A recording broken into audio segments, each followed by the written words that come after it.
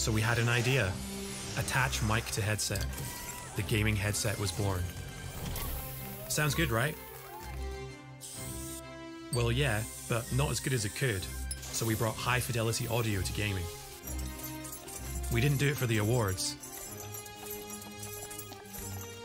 We did it so you could get immersed in your games, hear bad guys better, and shit yourself when you get shot at.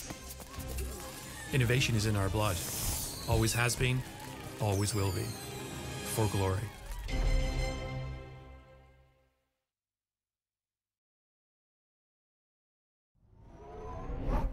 Imagine being a 90s gamer kid and these are your options. A mouse with one button. Your dad's mouse. Thanks for nothing, Dad. A mouse you got free in the mail. The only consistency you had was consistently missing shots. So at SteelSeries, we got to work on improving the gaming mouse. Pixel perfect precision was finally in play. But aim isn't everything, you also need brain. We were the first to onboard an ARM chip, letting you tweak performance settings and save them to your mouse. Then we added a liftoff sensor for complete vertical control. True one to one tracking was born. Your hand equals your aim. If you suck, that's a problem we can't solve. If it's your mouse, that's one we can. Innovation is in our blood, always has been, always will be. For glory.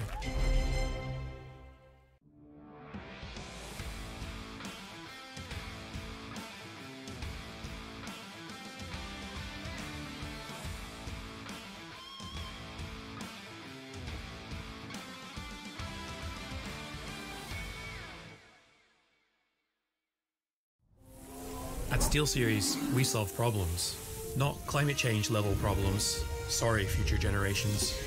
Video game problems. Like when gamers communicated by taping microphones to their faces. Seriously? So we had an idea. Attach mic to headset. The gaming headset was born. Sounds good, right? Well, yeah, but not as good as it could, so we brought high fidelity audio to gaming. We didn't do it for the awards. We did it so you could get immersed in your games, hear bad guys better, and shit yourself when you get shot at. Innovation is in our blood. Always has been, always will be. For glory.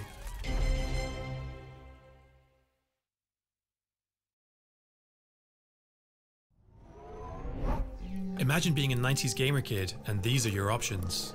A mouse with one button. Your dad's mouse. Thanks for nothing, Dad. A mouse you got free in the mail. The only consistency you had was consistently missing shots. So at SteelSeries, we got to work on improving the gaming mouse. Pixel perfect precision was finally in play. But aim isn't everything, you also need brain. We were the first to onboard an ARM chip, letting you tweak performance settings and save them to your mouse. Then we added a liftoff sensor for complete vertical control. True one to one tracking was born. Your hand equals your aim. If you suck, that's a problem we can't solve. If it's your mouse, that's one we can. Innovation is in our blood, always has been, always will be. For glory.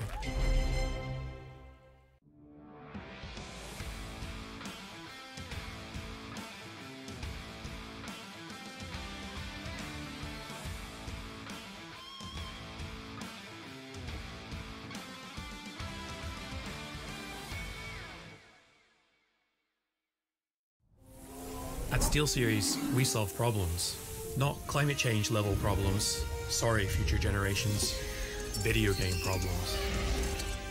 Like when gamers communicated by taping microphones to their faces. Seriously? So we had an idea. Attach mic to headset. The gaming headset was born. Sounds good, right? Well, yeah, but not as good as it could, so we brought high fidelity audio to gaming. We didn't do it for the awards. We did it so you could get immersed in your games, Hear bad guys better. And shit yourself when you get shot at. Innovation is in our blood. Always has been, always will be. For glory.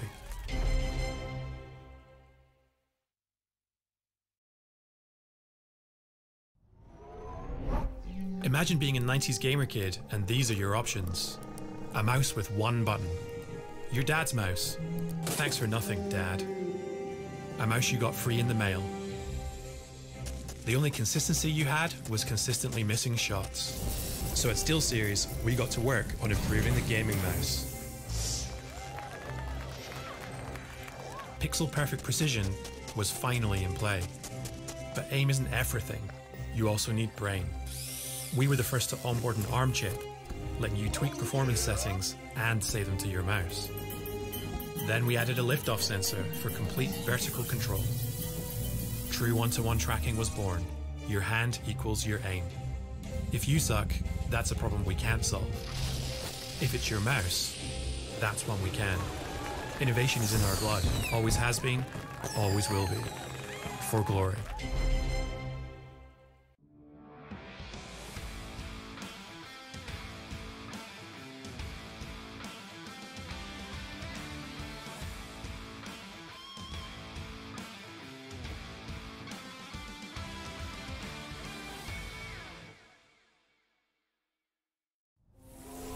At SteelSeries, we solve problems, not climate change level problems. Sorry, future generations. Video game problems. Like when gamers communicated by taping microphones to their faces. Seriously? So we had an idea. Attach mic to headset. The gaming headset was born. Sounds good, right? Well, yeah, but not as good as it could, so we brought high fidelity audio to gaming. We didn't do it for the awards.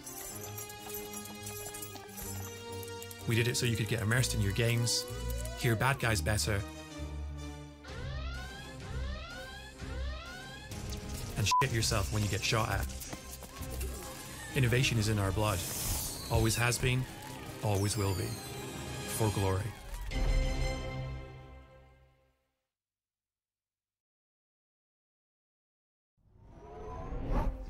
Imagine being a 90s gamer kid and these are your options. A mouse with one button. Your dad's mouse. Thanks for nothing, Dad. A mouse you got free in the mail. The only consistency you had was consistently missing shots. So at SteelSeries, we got to work on improving the gaming mouse. Pixel perfect precision was finally in play. But aim isn't everything, you also need brain. We were the first to onboard an ARM chip, letting you tweak performance settings and save them to your mouse. Then we added a liftoff sensor for complete vertical control. True one-to-one tracking was born. Your hand equals your aim. If you suck, that's a problem we can't solve. If it's your mouse, that's one we can. Innovation is in our blood. Always has been, always will be. For glory.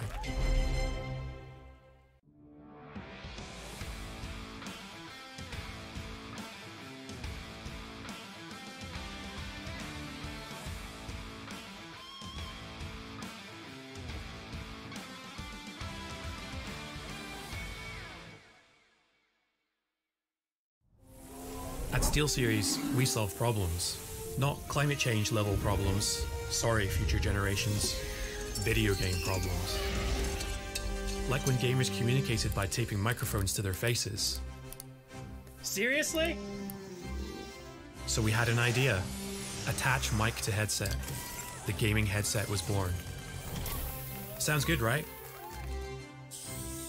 Well, yeah, but not as good as it could, so we brought high fidelity audio to gaming. We didn't do it for the awards. We did it so you could get immersed in your games, hear bad guys better, and shit yourself when you get shot at. Innovation is in our blood. Always has been, always will be. For glory.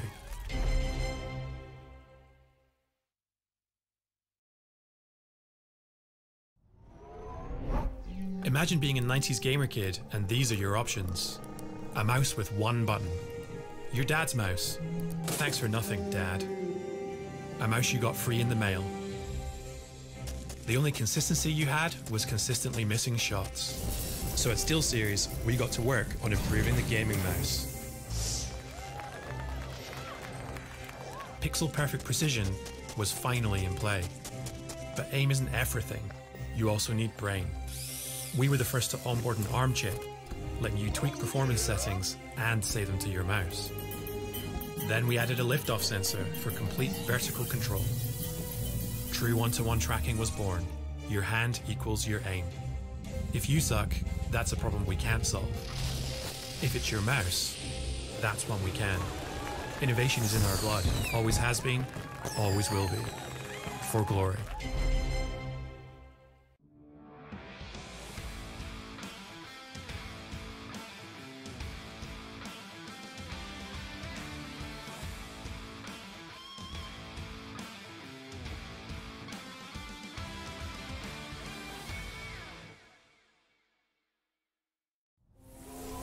At SteelSeries, we solve problems, not climate change level problems. Sorry, future generations. Video game problems.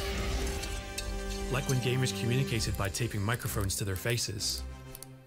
Seriously? So we had an idea attach mic to headset. The gaming headset was born. Sounds good, right? Well, yeah, but not as good as it could, so we brought high fidelity audio to gaming. We didn't do it for the awards. We did it so you could get immersed in your games, hear bad guys better, and shit yourself when you get shot at. Innovation is in our blood. Always has been, always will be. For glory.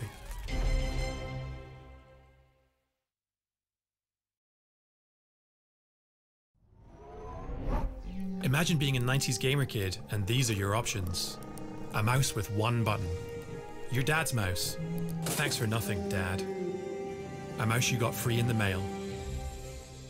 The only consistency you had was consistently missing shots. So at SteelSeries, we got to work on improving the gaming mouse. Pixel perfect precision was finally in play. But aim isn't everything, you also need brain. We were the first to onboard an ARM chip, letting you tweak performance settings and save them to your mouse. Then we added a liftoff sensor for complete vertical control. True one-to-one tracking was born. Your hand equals your aim. If you suck, that's a problem we can't solve. If it's your mouse, that's one we can. Innovation is in our blood, always has been, always will be. For glory.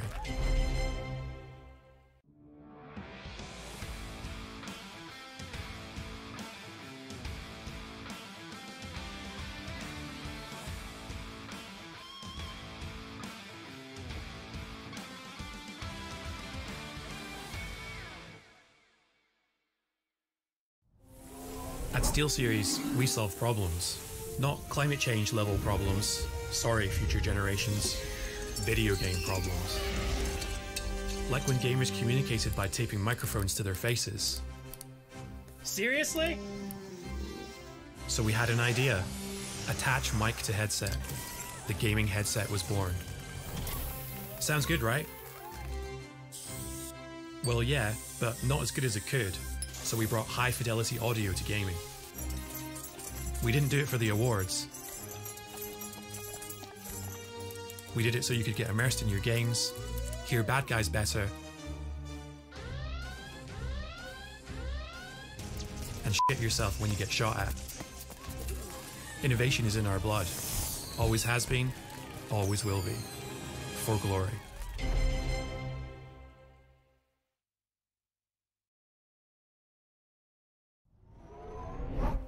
Imagine being a 90s gamer kid and these are your options a mouse with one button. Your dad's mouse. Thanks for nothing, Dad. A mouse you got free in the mail. The only consistency you had was consistently missing shots. So at SteelSeries, we got to work on improving the gaming mouse. Pixel perfect precision was finally in play. But aim isn't everything, you also need brain. We were the first to onboard an ARM chip, letting you tweak performance settings and save them to your mouse. Then we added a liftoff sensor for complete vertical control. True one to one tracking was born. Your hand equals your aim. If you suck, that's a problem we can't solve. If it's your mouse, that's one we can. Innovation is in our blood, always has been, always will be. For glory.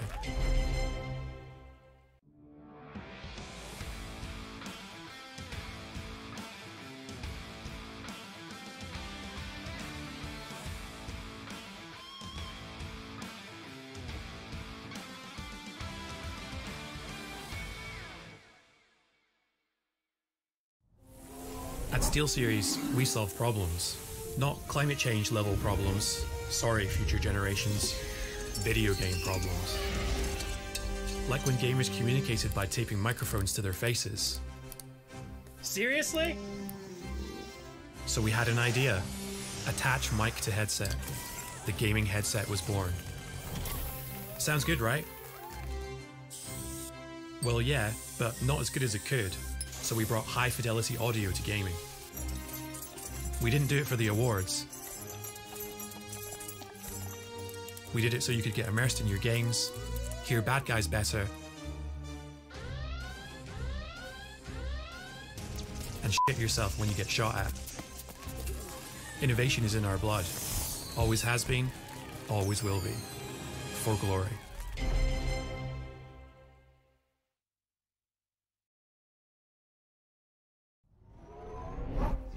Imagine being a 90s gamer kid and these are your options. A mouse with one button. Your dad's mouse. Thanks for nothing, dad. A mouse you got free in the mail. The only consistency you had was consistently missing shots. So at SteelSeries, we got to work on improving the gaming mouse. Pixel perfect precision These are those moments I don't think anybody else is going to forget.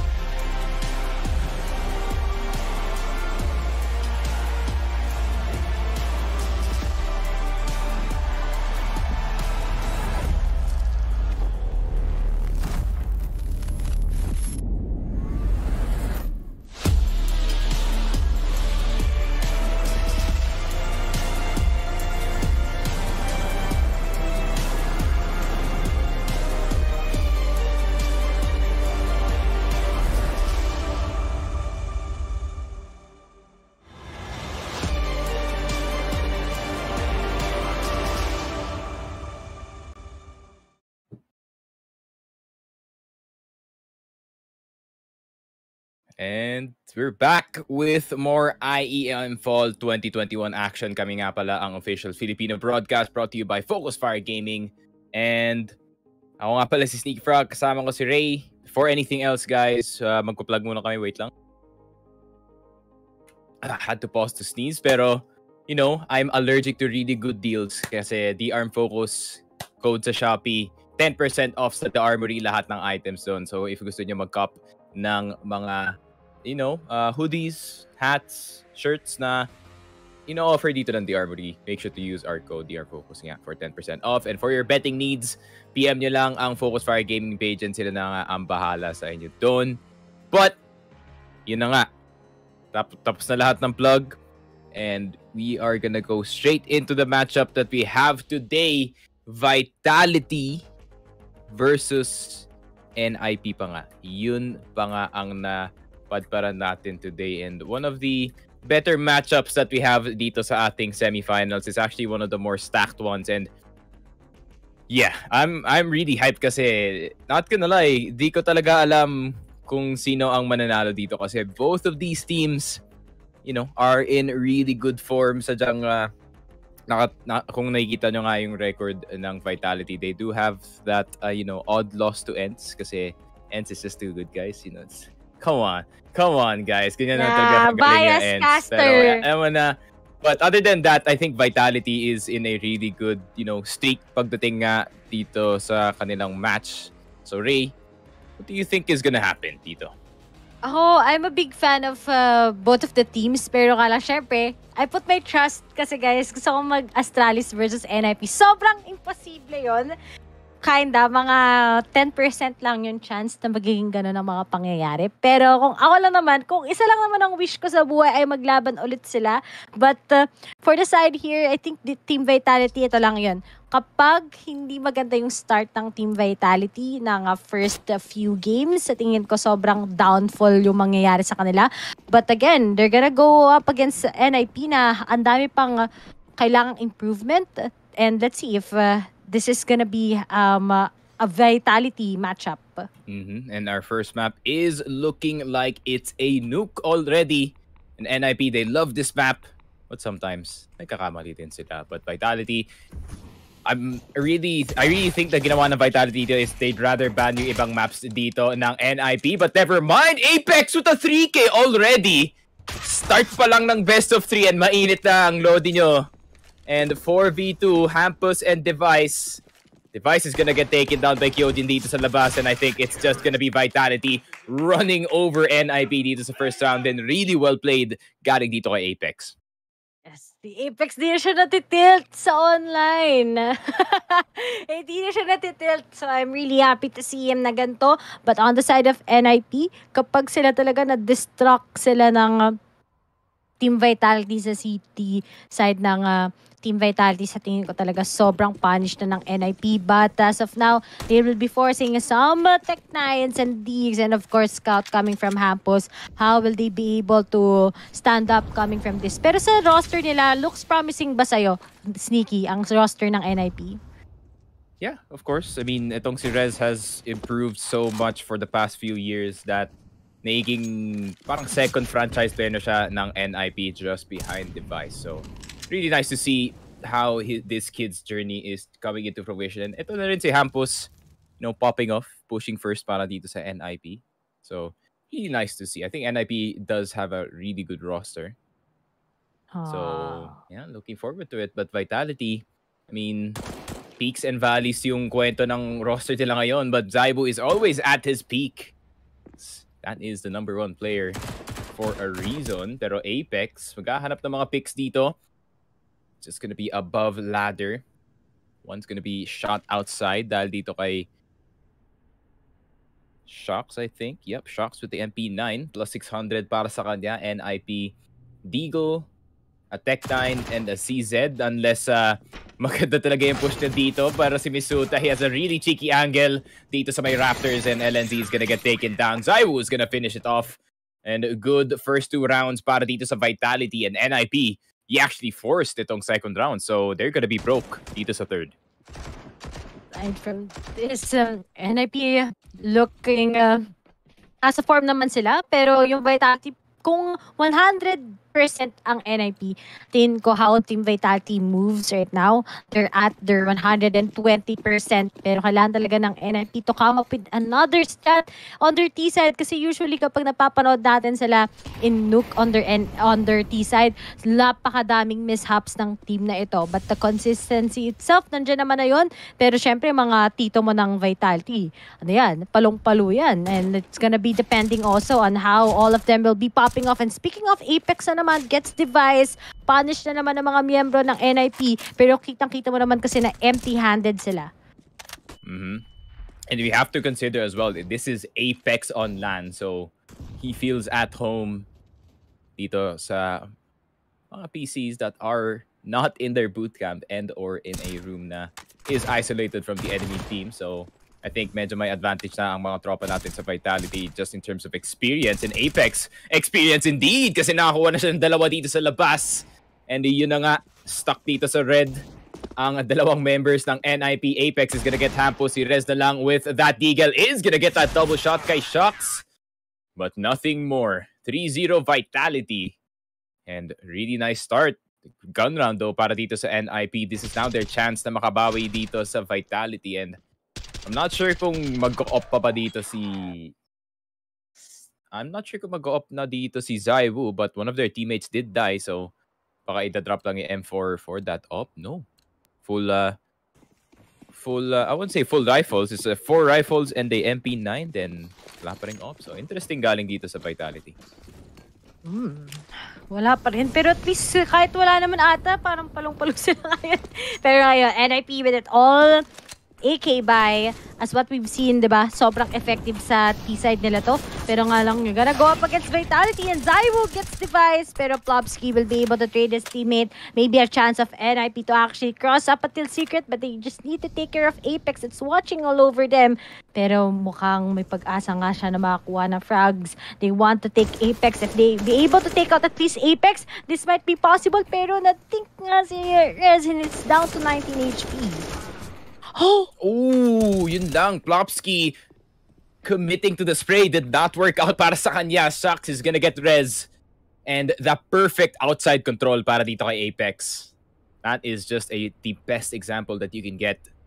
Galing sa kanya, he's just giving NIP a little bit of control but not enough na makapasok sila dito sa ace site and Hampus and LNZ na lang natitira. Hampus is kind of stuck dito sa may vent area and he's gonna get spotted by one of the members. The taps are about to come in and you already know M4A1S tatama at tatama talaga yan. And Kyojin with a cheeky headshot and mukhang mainit ang vitality dito sa first half and uh, is this gonna ring the same para sa NIP? Parang na naiisip ko na naman yung ancient game nila.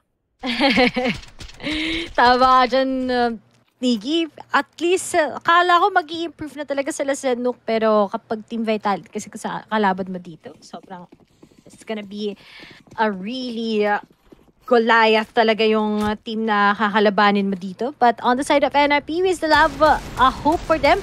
But if it's going to be a 6-0 na Vitality, um, still, um, tapos wala pa nakukuha ng round ang NIP, I think this is going to be a one-sided first half in favor of Vitality. Tapos, ang ganda pa ng T-side nila. They're actually a team that has a that is quite well balanced when it comes to this. So NIP talaga they need to come up, they need to step up more.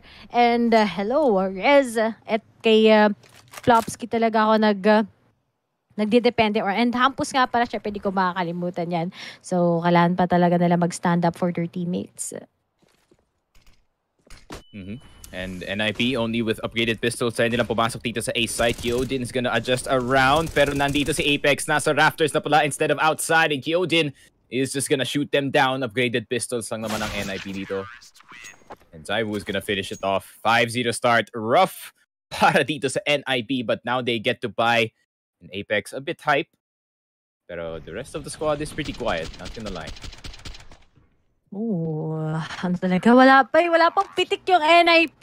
So, it's really uh, giving them a lot of struggle as they want to get against Team Vitality. Wala talagang, di nag-up yung uh, Team Vitality. Quiet, ano, ah. quiet. Uh, okay lang naman, I mean, palong-palo naman sila. But do you think uh, kailangan nila mag-up talaga going up against NIP? Mm, I think yeah, I think para sa Vitality, they still need to get that AWP, especially dito kay Zaiwu. But Apex once again, oh. nakahanap ng pick dito sa labas. And this is dangerous para sa side ng NIP because pag mainit to si Apex, he's gonna start to lurk and he's gonna start to find those picks para makakuha ng 5v4 agad ang Vitality dito. And if that streak continues, NIP, you're not in a good spot at all. Pero Vitality, no op pa rin. So, Zaiwu, I think inaantay lang nila at this point na mamatay si Zaiwo then he can get that reset. He'll probably play secret or itong ramp or outside. Depende talaga sa kanya. Uh, and Zaiwo with a really good angle dito sa garage. Covered na yung entrance dito ng main. So if ever may hmm. magka-cross dito galing sa side ng Vitality or rather sa NIP, that would be really bad news para sa kanila. That's the up already down para dito kay Device but a double swing galing sa NIP almost lining up para dito kay Zyro. Oy. Almost lang, almost. Pero Shox, you have to look behind you. Meron na palang tao. What a good reaction galing dito kay Shox. Napakaganda. And Vitality just taking over dito sa mapa na to. 30 seconds left. Flash sa harap ng A. Bulag walang members ng NIP. LNZ though with the kill. Kyojin committing to the spray. But LNZ with a quick triple. Teka lang. Naging 1v1 bigla. And Apex. Oh! Apex is a mad lad! Probe! Parang Viking Berserker just running through the flame. That's the least expected. if si LNZ is like, what? What just happened? Oh! Oh my god. Di kita, what? Hindi ko. Kaya pala taka, bakit biglang naging low energy yung pala on that Tamuli itself? Then, naglakad lang siya. Ayun na. Oh, that's a siya. tilter. That's a Ah. tilter too. I mean, you, you just have to take it in the chin, man. Kasi that win is the most Oh. unexpected play galing dito kay Apex and NIP. I mean, they can half buy, pero their No. economy is not looking too good. I think uh, you don't want that to happen sa side na, oh, I think they want. Okay, serious kasi viable naman talaga para sa kanya bumili ng AK. But on the side ng Team Vitality, alam mo na eh, pag gumagawa ng ganong play yung Team Vitality at ang asim ni Apex, 14-1? What? Is it 14-1? So, grabe, walang words kay Apex ngayon. Hard hindi siya hard carry. Lahat sila palong-palo, but uh, mas palong-palo lang. Si Apex, he's at, um, he's weak 214 right now. ADR as well. Jesus. Ay. Oh, but Oh. Hampus though, yun na nga ang hinahanap natin galing kay Hampus. That aggression. But Apex, uy, Apex. Going to the smoke, nakita ng isa? No, Rez is gonna take him down. Akala ko multiple kills yan para sa kanya, but the reaction is too fast and Misuta gonna fall dito sa P. He's gonna use the rafters. Mag-off angle ba siya dito para sa double doors or is he just gonna stick inside the corner? As soon as that door opens, the shots will now start flying. Shocks getting yung AK player that's res down and recover nga ni Hampus at ni LNZ yung mga M4A1S dito. So, meron na silang power, at least, in terms of rifling. Pero, utility, not so much. Zero, nada at all. Meanwhile, ang Vitality don't even need the utility at all. Magpupush na nga dito ang NIP sa side. Hampus with the taps. And yun lang, si Shocks pala ang makakatama dito. 7-0 for Vitality. And this City side, it really hurts para dito sa NIP. Ay, uh, I think uh, sobrang struggling, struggling ang NIP. And uh, imagine just Misuta watching all over them come one by one. And yep, ang init. The fact na tumatayo na talaga si si Apex, alam mo na eh. And si Device, ay nako po, ah, medyo The napapakamata. classic device sa Kapag- facepalm. Kapag si Device nag-ume-entry na, alam mo na, alam mo na yung mangyayari sa NIP. Oh no, he's doing it too. Oh no, double agent. Or rather, ano pala, James Bond. Oh my god, 007. Oh my god, bro. Oh. oh. I'm sorry for laughing, device, but you know, you know, Hey, this- I've been through that, man. I've been through that. Don't worry. Hey, this is uh, this is an NIP pick here in Nook. So, bakit mo yung pinili Nook? Okay, sige, sige. I mean, Yeah. I mean, they ay. have a high win rate dito sa uh, okay. So, you can't really blame them. But That- first kill, yun na nga, baka may start na dito yung NIP. This round is very important. Sobrang uh, momentum upper yan. Kahit makalima lang NIP eh, di ba? Sobrang baganda na para sa kanila. And speaking of, that will be, this round is, yun nga, that might be the game changer that we have as Hampus takes Apex and Device right behind. Ito na, mapakainit niya, but Kyojin gets the trade. It's a 4v2. Kulang na, kulang na sa utilities na ng uh, Vitality unless if may gagawin sa Shocks, pero wala nga nangyari, Kyojin na lang. And I think that's over para dito sa Vitality and that's gonna be the first round 7-1. Finally, after sa isang napakalaking streak dito sa first half, Hampus and the boys, nag-entry na sila dito sa may ramp area looking for those picks. Nahanap nga nila. And Vitality, no op just yet. So hindi talaga pinapa-op dito si Zaiwu sa nuke. They're really trying to find yung mga long-range fights with only those M4A1Ss and grabe yung vitality. New meta na talaga, all of them have the M4A1S. ano pa yun, no? Lahat pa sila ngayon, may tutok. Alam mo yun, la- land buff. Pero at the same time, Misuta with that hold. Yun na nga sinasabi ko. He's playing it very tricky. He gets Hampus and that's really important. You take off Hampus, then NIP might be struggling a, a lot unless you device. makakapitas siya ngayon sa may secret going up against Apex. Pero if he'll be... Oh, the spread. Oh, Ah, Ay, yun naku lang. po. A- Apex uses... uses oh, Ay, what? way he lives that. What? Ano nangyari sa akin doon? Pero to, as they go in, where this door, si Shock sa ganda ng pwesto niya. Pero meron pa rin Molly eh. Di nila Kailangan ng si pop flash Molly. ni Kyojin dito.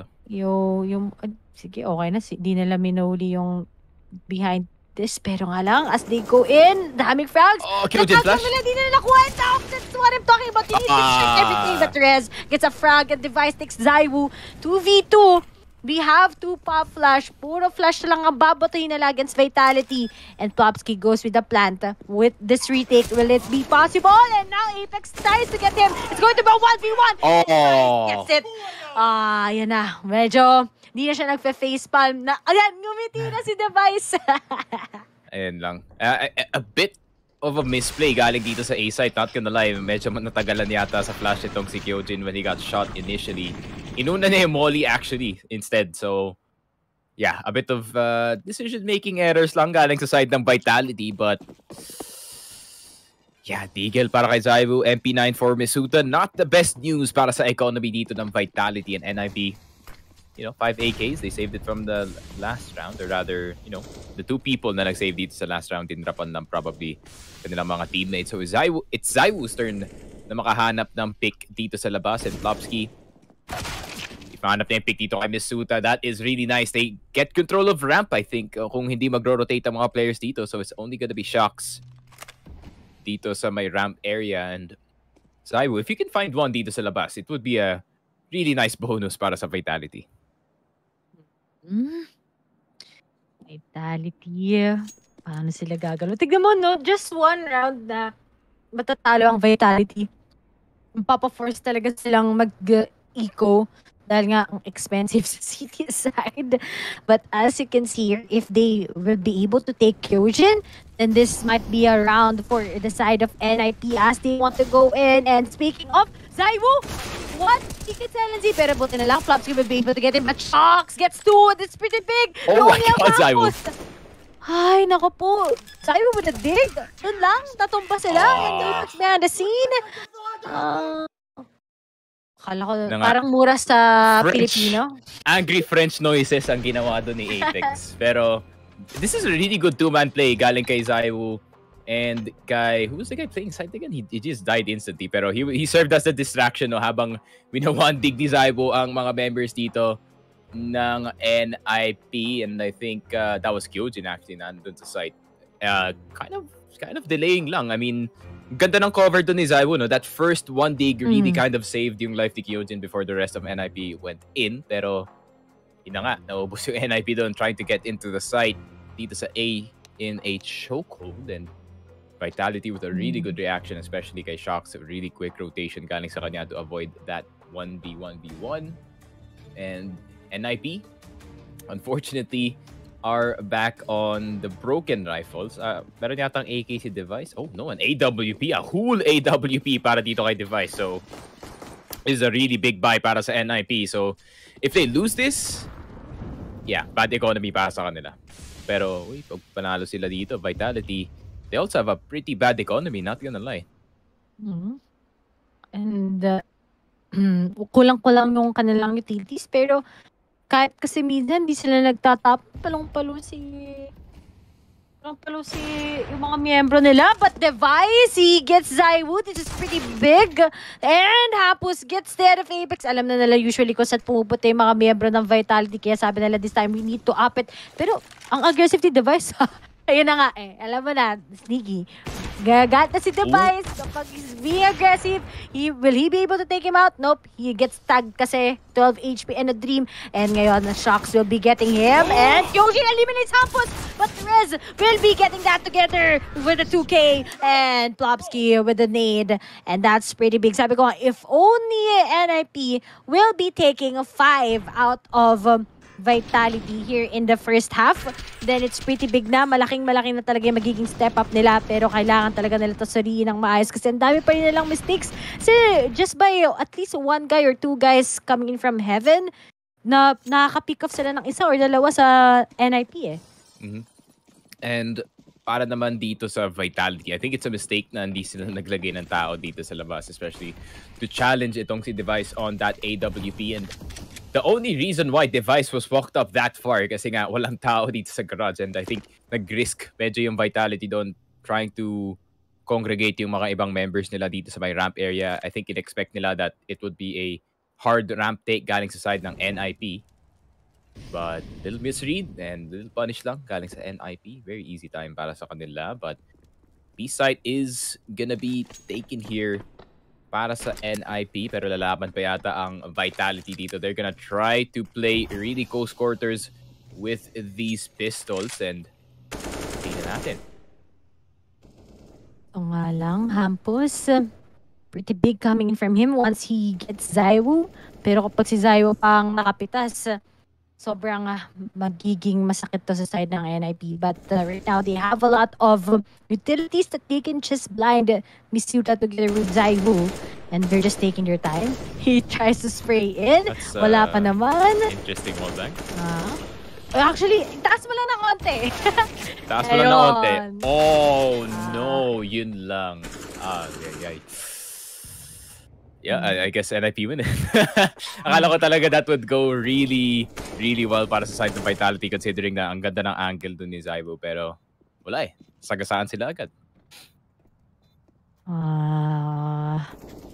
pero kung nakuha niyo yung wall bang, siguro they got too distracted din siguro. I mean, hindi naman nila iniwasan, but uh, you know what? Uh, Siyempre, minsan you're gonna be hearing a lot then biglang isa-isa na lang pumunta ang NIP. Apex is thinking that he might be able to at least get one, pero walang pumunta sa side niya.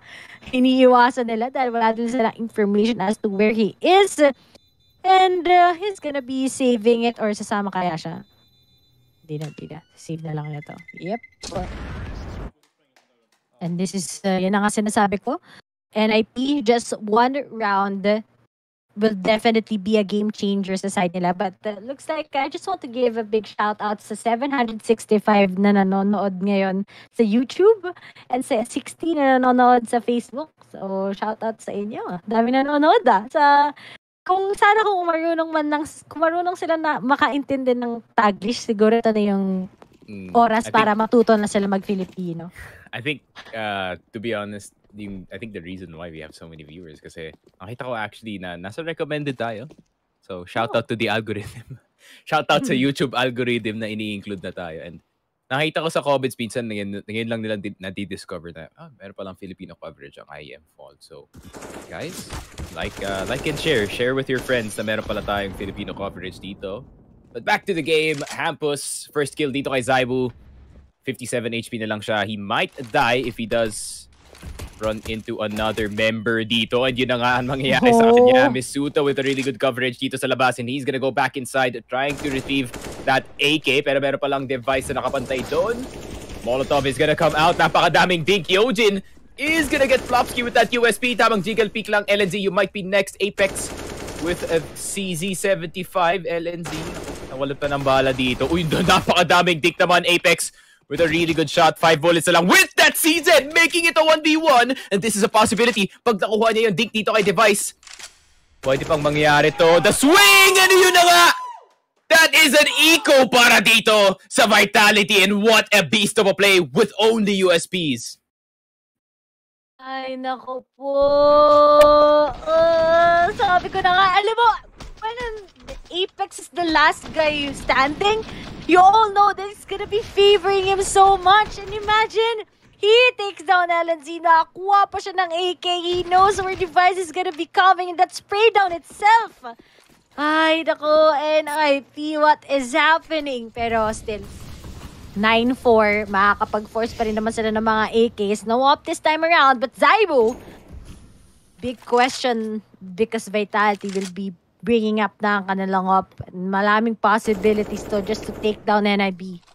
Mhm. And the flash on the ground para dito sa mga magtatapon ng mga grenades papunta dito sa site. Additional flash lang just in case na kailangan nila. And it seems like NIP is going for an ace set. And the A set is about to happen. Molotovs are gonna start flying. Limang flashes papuntang site. Plopsky, bulag na bulag dito si Shox. Hindi siya makakita. But Shox, he's in a really good corner. Yun lang, hanggang tag lang ang ginawa niya dito. But Pisuta is gonna finish two off. Zaiwu with an AWP. He gets res. Now it's a 1v2. Hampus na lang natitira. With that AK-47, wala siyang utility whatsoever. Has to worry about two angles. Meron isang tao dito sa taas and meron isang tao dito sa baba. The first peak is gonna come out pero Misuta with a really good coverage and despite the sangkatutak na flash na tinapon dito ng NIP sa site, hindi pa rin nila makuha. Init na mga miyembro ng Vitality. Sobrang scary nila talaga ngayon. I mean, all of them are really doing the work. uh, especially with how Apex gets the crucial rounds.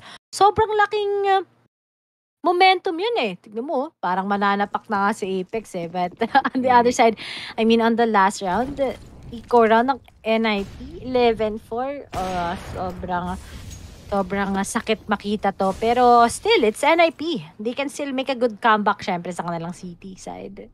Mhm. And NIP, mukhang magko-force buy na lang sila dito sa last round of the half. Wala na rin silang pera.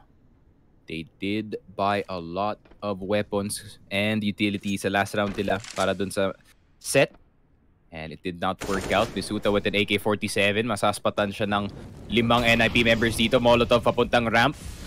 Hindi pa sila makakatalon. Possibility of going into A is still pretty high galing sa kanila. Plopsky trying to get some space dito sa may locker room. Papunta sa ladder. But Misuta with a really good angle. Pag hindi siya ma-pre-fire dito ng NIP, then this is A-okay. Pero wala pang flash. Still ready and waiting. Nag-aantay sila ng overextension galing dito sa side ng Vitality. Pero may nakatingin dito sa taas. And Plopsky, if you look down at the wrong time, then this could be trouble for you. Pero yun lang, hindi pala ganun kalalim ang angle ni Kyojin. Pero Device is gonna get Misuta. Apex getting one with his fire. And Zaiwu, AWP shot. Taking down one. Pero Apex na andito sa control room and seems like he's gonna control B with this M for A1S. And silence is the key. 11 to 4 Vitality with a good first half. Good vibes coming in from Vitality. I mean, compared to the other games nang kinastatin sila ngayon talaga, they're so different. All of them has their own style. But we gotta give it to Apex talaga. There were two rounds that it's gonna be depending on him. And he got a lot of clutches. Tapos ang NIP ngayon, they're just all denied. But on it's on their T side. So, ako pa rin, I'm still thinking na maybe magiging dikit pa ang laban going up against Vitality. Pero ikaw, sa tingin mo ba makakahabol pang NIP? I think so. I think so. I mean, itong NIP, maganda naman ang kanilang CT side. I did say this before, but, you know, it still rings true na maganda naman talaga ang CT side ng NIP. All they have to do is to get, not even get it on pistol round. Eh, They, they just have to get the rounds after yung pistol round and maybe they can get their swing back into the game. Pero Vitality, you should not underestimate yung T side nila kasi, uh, you know, aggression is gonna get uh, al- al- ma-allow yung aggression dito ng Vitality. Salamat dito kay Apex.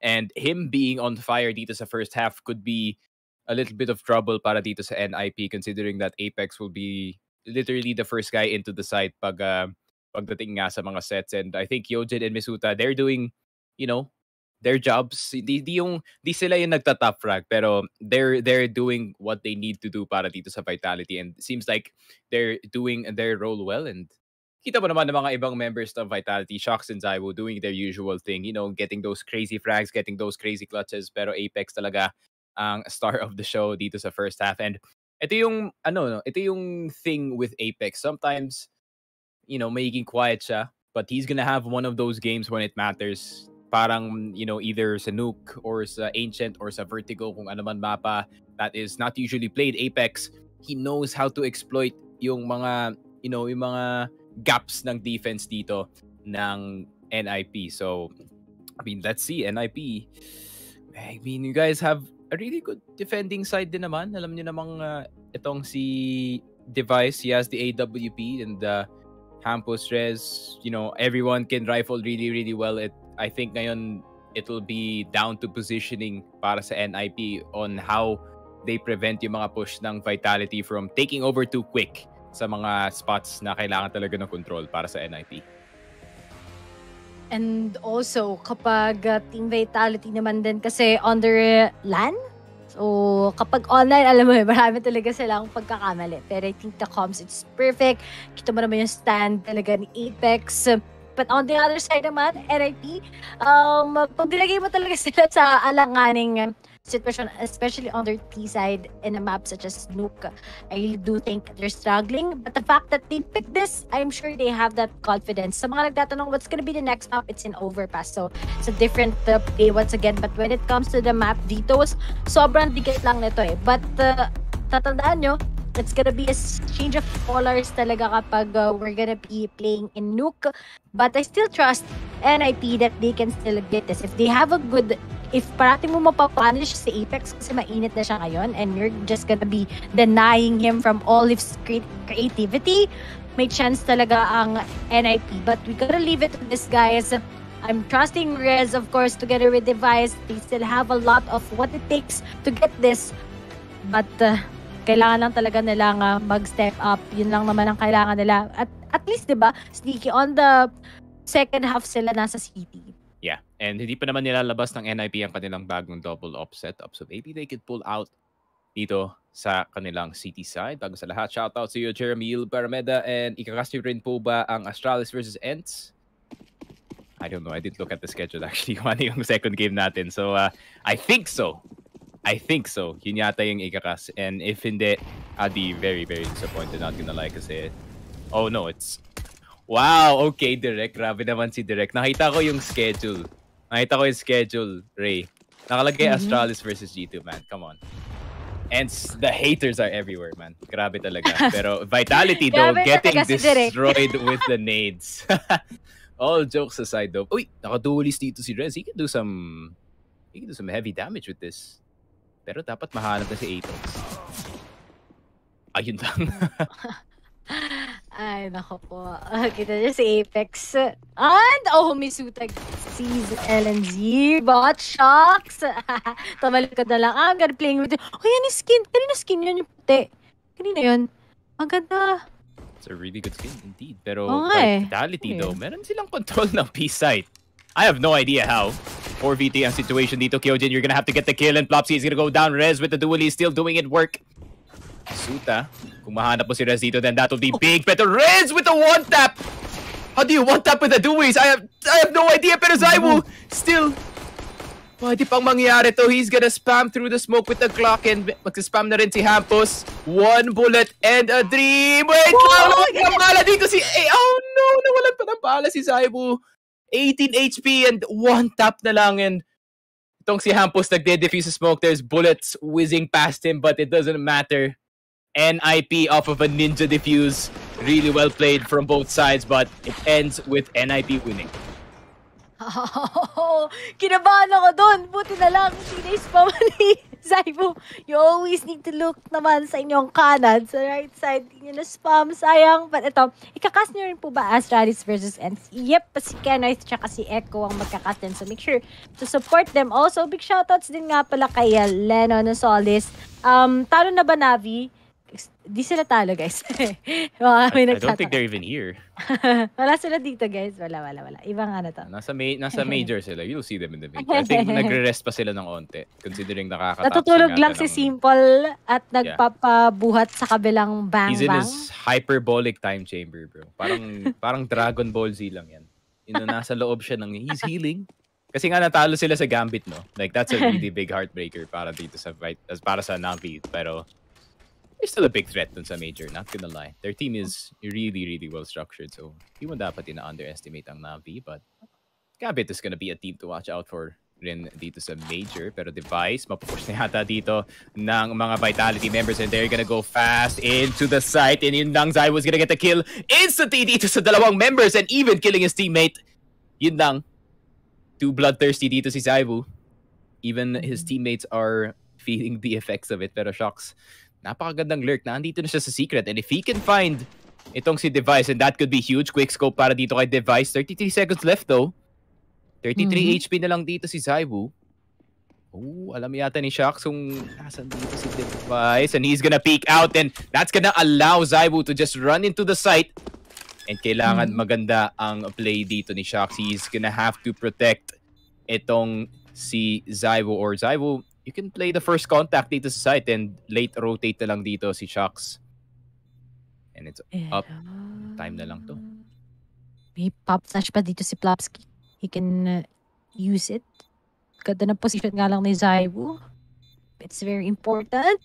Oh no! Ah, he gets it! Zaibu gets rest. Time is taking time. He's under pressure. Plopsky, 1v1 against Shocks. He has the kit. He goes for his defuse. Pero Shocks, nilalaro-laro na lang niya to. And I think that's it. Yun, to save it. Oh man. He still gets Plopsky. Sigaw na sigaw. Jesus, Mga Apex. French boy, boys. Calm it down, Ah. man. Teka lang. Map 1 pa lang, bro. Map 1 pa lang. I know you uh, you guys are winning itong map 1 and it is the pick of NIP, but you gotta calm it down a bit. But really good play galing dito sa Vitality. And I think it's a bit of mistake galing dito rin kay Rez who was trying to get control dito sa my uh, dito sa my rafters. But he dropped down giving Zaibu free information. And once again the clutchest player of all time. Dinagdagan na, na naman ng isang clutch. I think it's around 650 na yata. 650 clutches and counting para dito kay Shocks so yeah. Uh, really lucky that Vitality is uh, Vitality has Shocks right now kasi these clutch moments are really saving Vitality from really bad situations and NIP yeah, in a bad situation ngayon na napa-force sila. Deagles, CZ and uh, Device with that scout.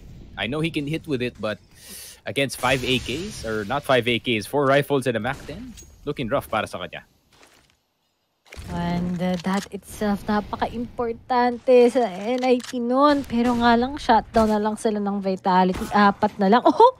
Oh, Riz! Gets shocks through the smoke. That's pretty important for them to decide on next space. Lanzi nga lang nakuha ni Misuta device. Gets rid of that. And they will be denied. But, oof! May pag-asa pa dito ata ang NIP sa 3v3 still. Pero nga lang, pagdating sa mga barrel, napakalaki kagad ng advantage ng Vitality and Mm. Apex Caesars. Yun ang sinasabi ko. I really do think. How did oh, Zaibu hit that? How did he live? Eh, ako po. I think, ano talaga, may nine lives ang Vitality ngayon, Sneaky. No, si Zaibu lang yung may 9 lives at this point because I have no idea how that guy is alive. Pero device, Ayan yung skinny device. AK? Go Yan. inspect it, bro. Inspect it. Gusto ko makita yung stickers eh. Parang ang ganda ng stickers. It's, I think it's a USP whiteout na factory new. Tapos, di ako sure sa stickers ah. Di ako Hmm. sure sa stickers. It's something pink.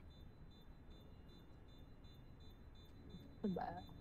Alright. Ray's looking at the Steam market right now. Ah, Say, USP whiteout factory new. Ano ba? Oo nga, oo. kung nandito si Gab, kung nandito si Gab, he would just be like, alam niya na agad yan. Ang ganda eh. Sorry, na-distract kami. Pero alam naman natin na panalo. oh my god. Uh, yeah, USB whiteout. You know, mura lang yan kay Ray. No ka ba? Ano mo naman? 10k? Nilibre mo Wala. Barya lang yan 10K? kay Ray, guys. Seryoso? Guys, barya lang yan kay Ray. Trust me. Di nga. Anong, ano It's pangalan? 10k factory new. USB whiteout. What? Pero you can, I think yung mga minimal wear less yata. Less mahal. Hindi ako sure. $13. Siguro mga, mga ganun. $13. Hindi, yung minimal wear. P250 to eh. Wait. Ayun, 700 pesos yung USB whiteout. Oh! Oh. Ay, akala ko si Device nakatama dito. I just saw red health bars dito sa left pero Apex nakapasok na nga dito. Or Shocks pala. But Rez is gonna prevent him to even go near dito sa Secret and LNZ with a USP and a Dream. And Vitality, mukhang gusto nilang pumasok dito sa site. Zaibo, nakakita ng isa dito sa ramp. And I think if pumasok sila dito sa A site, it's not much resistance galing sa NIP other than kay Plopsky and kay Device. With that USP, the spray is gonna go through Apex. Wall bagging dito. Nakuha na nga ni Misuta si Plopsky and Device. And Rez gonna get two. Pero Zaibo Apex sasagot agad. And now it's a 2v2. No access to the AKs ang mga ibang players dito ng NIP. Pero meron na sila ngayon. They're gonna drop down. Magkuha sila ng mga AKs dito. Pero Vitality, they are gonna get the plant down. I think kung pinlanta lang yata ng Vitality dito sa A site, this would have been a safer bet. But now they're gonna have to deal with an NIP squad. Wala silang armor. So, aim punch ang pinipray dito ng Vitality. Pero, uy, Apex, onting spam lang, LNZ. If you find itong si Apex, then that would be a crazy thing. Pero dalawang off-angle lang ginamit dito ng Vitality and that's gonna result in two kills and two points na lang. Vitality. I mean, I think uh, hindi naman yata nag-force buy itong NIP. I only think na nag uh, buy lang sila dito. So, they might just go into a buy dito sa next round. But yeah, Vitality inching ever so closer doon nga sa ating 16. And yep, they're gonna have a full buy dito sa round na to. But MP9 on Plopsky, up on device. Way healthier Mhm. buy and Jesus Christ, Shocks that just got destroyed. Baka ito pa, ba, may comeback pa, like Blackpink. And looks like Hampus gets Apex. Uh, three left para sa side ng Vitality. And if you're gonna be putting that up on device, here's really on point. Uy, he misses it. Pero nga lang, Misuda gets two. And this is pretty winnable one para pa, sa- para pa sa side ng Vitality. Walang pera at walang NIP for the next round. Ha? Kahit ba mag-loss bonus yan, napakasakit pa rin yan. But, oof, Ah, naku po. Sayang yung ginawa ni Ellen tsaka na device. He missed that. It could have been better, but at Oh? least... Oh no, Zaiwu unstoppable. We only have Hampus. Low si Misuna together with Zaiwu. He can still get this with the off-angle spray And naman. Ah, dude, Zaiwu gets too the good. third kill. Was too And good. And that's it. Oh my god, Zaiwu is really too good. I thought that was gonna be a win para dito sa NIP, not gonna lie. Earlier this round, really didn't have the best start para dito sa Vitality. But Bisuta and Zaiwu doing in work para dito sa Vitality. And this was a good attempt galing sa NIP. I thought mamamatay nga dito si Zaiwu, pero Zaiwu doing Zaiwu things na naman. And 15 to 5, Plopsky medyo kinakabahan na dito. Ah, I think Tingin uh, taas, reset na sila. baka nandun yung sagot.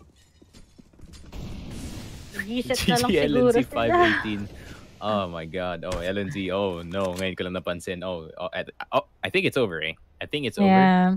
I think reset na sila. Mag uh, next map na sila. Na Guys, save pinili, na kayo for syempre. next map. Ah, na pinili ng Vitality yung overpass. Pero kapag NIP overpass, I'm pretty confident about how they would be resetting na lang talaga. It's really important for them to have that um, sobrang ano eh, kailangan talaga nila mag uh, full buy na on the Mhm. previous round eh. Kasi kapag uh, nag-save pa rin sila, I mean, you don't want to give that to Vitality. So now or never. So, yep. Medyo flex to Pero- ah. Hindi nag-op si Zaibu buong game. Hmm. Tamang, pa, parang medyo flex lang, you know. Parang sabi niya, I can beat you with an flex. AK-47. Pero Hindi siya weird flex. considering na overpass yung next map, no, I think magiging problema ngayon ng NIP kung paano nila i-handle yung op ng, uh, ng Vitality dito on Zaibu. But Molotov, uy, Hampus is gonna die anyways sa Apoy. So, not much achieved para dito sa NIP. This could be a possibility though. I mean, 3v2. Now it's a 2v2. Device making it possible. Misuta is gonna go for the push and Device gonna go down. LNZ is gonna get deleted by Kyojin. Grabe naman yun. Instant headshot. And 16 to 5. Great start para dito sa Vitality. And this is the performance that I expected galing sa kanila. Especially, it is coming into LAN and they have the three best LAN players on their team in the name of Zaiwu Shocks and Apex. And yeah, comfortable start para dito sa Vitality. I mean, it's really big sa kanila. On that first start itself, alam ko na eh. Kapag dikit yung laban ng first half, um, siguro may possibility pa ng NIP na maipapanalo nila. Even this was their map pick. When you, when you take a look in the map details, Nuke, Overpass, and the Mirage, alam mo na that's gonna be depending on the first half itself. And the fact that it was a Vitality big lead, tapos on those rounds na kung kailan na to-turn pa ng tables just because Zaibu is really popping off. Sobrang hirap talaga para sa NIP. Reset na lang sila talaga. Nung nakita ko ng 13 and 14 lead na ng Vitality, all I can say is that bawi na lang talaga sa next map. Mhm. And yeah, I think para naman dito sa NIP, I think they're really lucky that itong si Vitality, they did pick the overpass map na meron naman silang chance to fight back into that one. So yeah, we- we'll just have to wait and see. Pero Vitality is still one of the best overpass teams dito. Shocks is the master of connector and the master of this lurking on the map everywhere. And Apex can do the same if he wants to.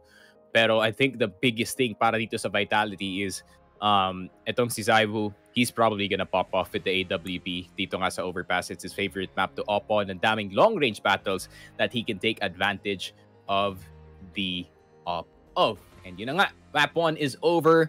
NIP got destroyed to say the least, guys. Wala nang, wala nang sugar coating. They got destroyed that game. So, let's see how they recover dito sa ating second map. And uh, guys, we're just gonna take a short break. And when we come back, more CSGO action coming at ya. Huwag kayong aalis. These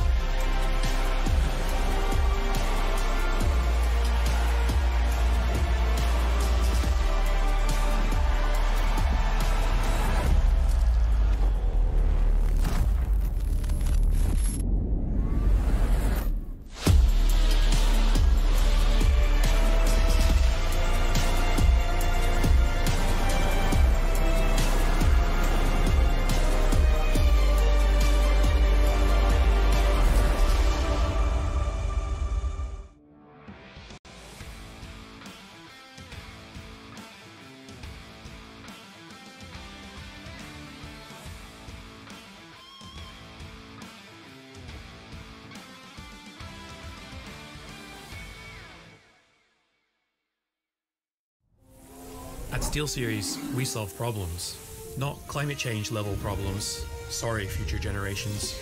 Video game problems. Like when gamers communicated by taping microphones to their faces. Seriously? So we had an idea attach mic to headset. The gaming headset was born.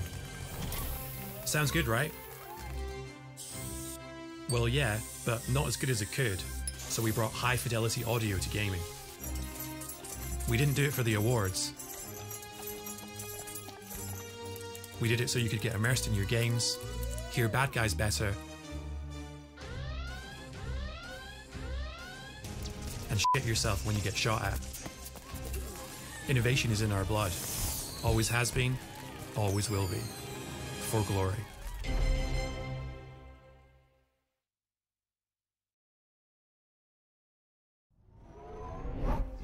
Imagine being a 90s gamer kid and these are your options. A mouse with one button. Your dad's mouse. Thanks for nothing, Dad. A mouse you got free in the mail. The only consistency you had was consistently missing shots. So at SteelSeries, we got to work on improving the gaming mouse. Pixel perfect precision was finally in play. But aim isn't everything. You also need brain. We were the first to onboard an ARM chip, letting you tweak performance settings and save them to your mouse. Then we added a liftoff sensor for complete vertical control. True one-to-one tracking was born. Your hand equals your aim. If you suck, that's a problem we can't solve. If it's your mouse, that's one we can. Innovation is in our blood. Always has been, always will be. For glory.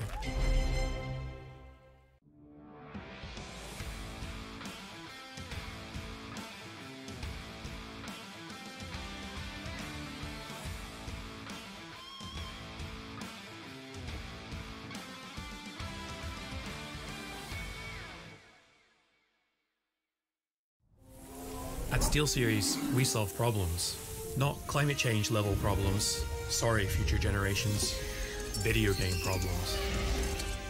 Like when gamers communicated by taping microphones to their faces. Seriously?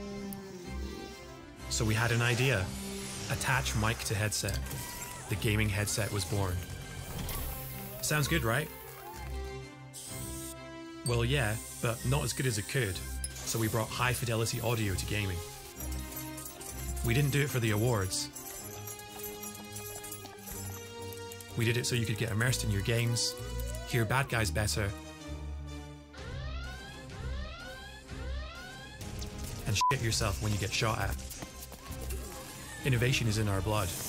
Always has been, always will be. For glory.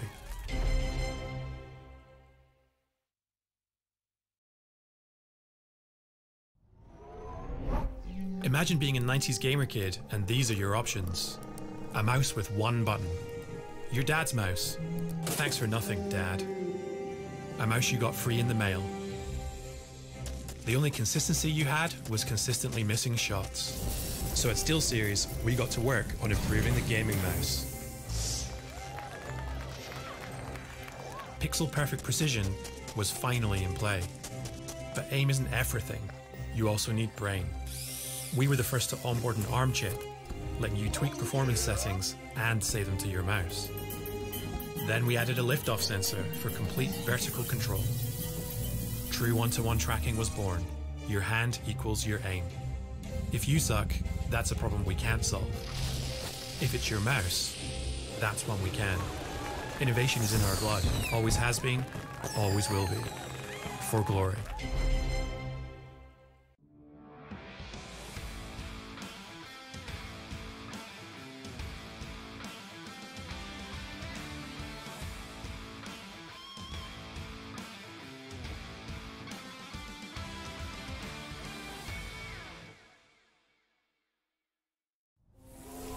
SteelSeries, we solve problems, not climate change level problems. Sorry, future generations. Video game problems. Like when gamers communicated by taping microphones to their faces. Seriously? So we had an idea attach mic to headset. The gaming headset was born. Sounds good, right? Well, yeah, but not as good as it could, so we brought high fidelity audio to gaming. We didn't do it for the awards. We did it so you could get immersed in your games, hear bad guys better, and shit yourself when you get shot at. Innovation is in our blood. Always has been, always will be. For glory.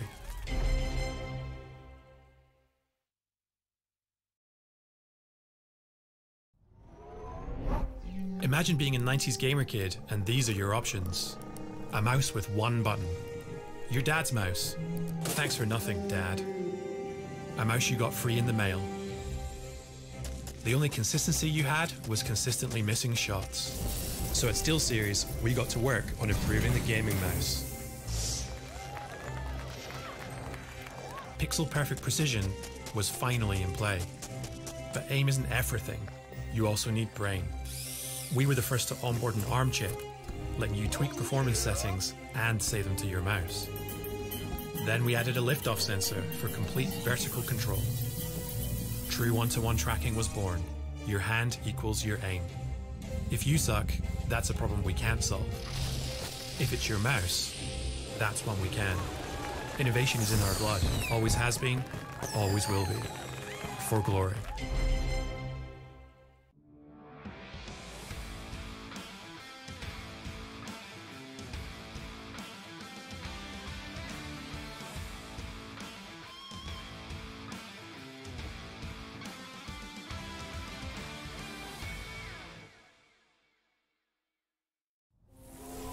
At SteelSeries, we solve problems, not climate change level problems. Sorry, future generations. Video game problems. Like when gamers communicated by taping microphones to their faces. Seriously? So we had an idea attach mic to headset. The gaming headset was born. Sounds good, right? Well, yeah, but not as good as it could, so we brought high fidelity audio to gaming. We didn't do it for the awards. We did it so you could get immersed in your games, hear bad guys better, and shit yourself when you get shot at. Innovation is in our blood. Always has been, always will be. For glory.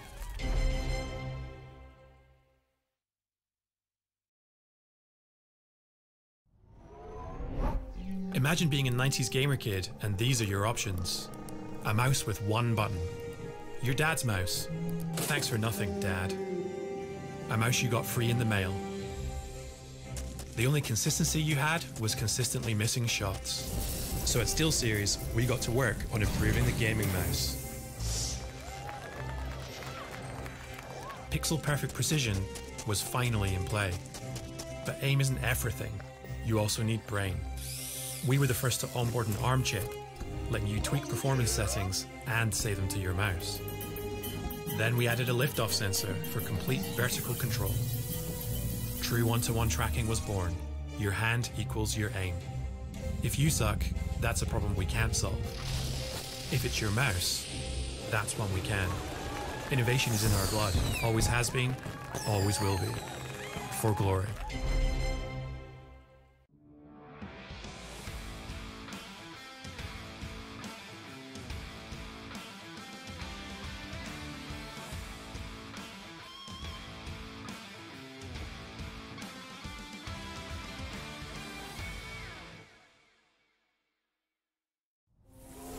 At SteelSeries, we solve problems, not climate change level problems. Sorry, future generations. Video game problems. Like when gamers communicated by taping microphones to their faces. Seriously? So we had an idea attach mic to headset. The gaming headset was born. Sounds good, right? Well, yeah, but not as good as it could, so we brought high fidelity audio to gaming. We didn't do it for the awards. These are those moments I don't think anybody else is going to forget.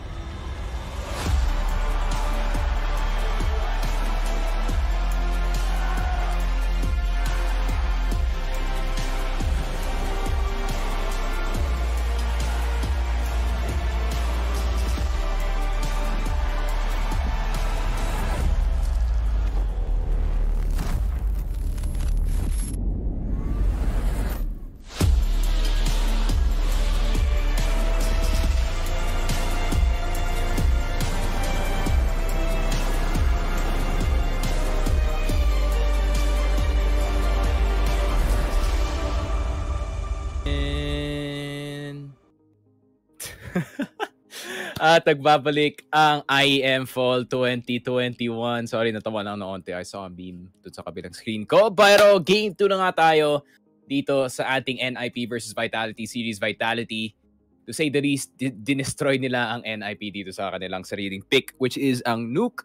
And yeah, I mean, convincing na win para dito sa Vitality Apex was basically on fire the whole game and the rest of the squad doing in work and yeah, mukhang maganda ang uh, shape dito ng Vitality going into this series. NIP, medyo nahihirapan pa ng onte so maybe they can get a start dito sa second map. But considering nga na pick ito ng Vitality, this could be a bit of trouble galing sa NIP. But so far, sa three maps na nalaro nila for the past, you know, few months, medyo matagal-tagal na rin bago sila nag uh, bago sila nag-overpass the last time. I think last time nag-overpass sila nung IEM Fall Europe uh, 16-14 against Skade and not the best scoreline para dito sa NIP, not gonna lie. So, Vitality in a position to win para manalo dito ng 2-0. But NIP, if you guys can show up dito sa ating map 2 in overpass and knowing itong NIP, they're probably gonna start itong city side kasi meron nga silang choice of sites dito kasi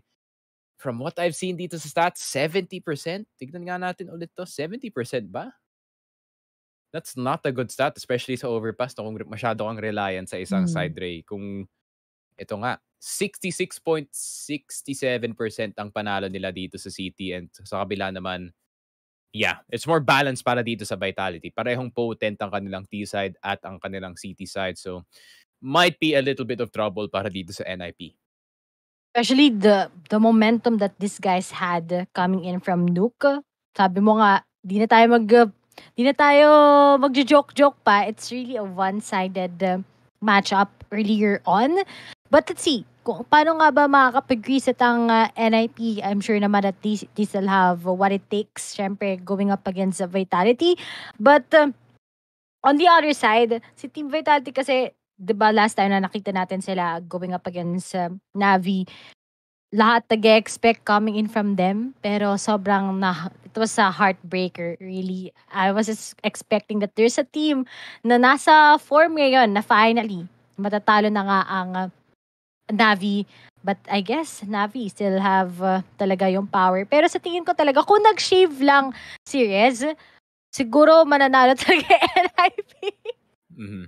Yeah. I think kung, yeah, kung nag-shave lang si Rezes would Yeah. be totally win para sa NIP. Pero nak- nakita na natin no kahapon, Ray, or kahapon Mhm. ba yun nung kinas natin NIP Isang araw. Movistar. Ay, nung isang araw, nung stress na stress na si Ray kasi nga nag-game 3 ang Movistar Riders at ang NIP. Let's be real here. NIP, you know, pinanalo nga nila ang last series na yun against Movistar Riders. Pero naging sign yun eh. Naging sign yun para sa kanila that hindi pa sila 100%. This is not the NIP that we are used to seeing na definitely number 6 sila sa mundo na form. Right now, parang mga world rank number 15 yung laruan nila, especially after that Nukas and especially after that loss dun nga sa Ancient against Movistar Riders. So that could be a huge blow para dito sa NIP and I mean, let's see it. It's just an uphill climb para dito sa NIP, not gonna lie. Kasi yung form nila ngayon is not really looking too good. I agree na yun nga yung medyo, siguro at the same time, kasi ang taas na expectations natin sa kanila, syempre. Nag-improve naman sila. But, uh, ano na bang world ranking ng Astralis on the other hand? Kasi nga, may kita natin sila going up against Ents. Pero, sige, habang hinahanap ni Sneaky, this is a new, different uh, story side ng uh, NIP. So, I hopefully, magiging maganda yung start nila ngayon. Dahil nga, ang Vitality talaga, they're quite scary. Mhm. And yeah, Astralis number 8 in sa mundo. And Oh. NIP number 6 should be changed, not gonna lie. Yeah. Pero I guess we can agree that FaZe is totally number 7. Parang the best thing to describe FaZe is worse than NIP, better than Astralis na konti lang. Pero magpupush na nga ang mga members dito ng Vitality and yun na nga connector is the play of the game para dito sa Vitality and Misuta instantly taking out Plopsky.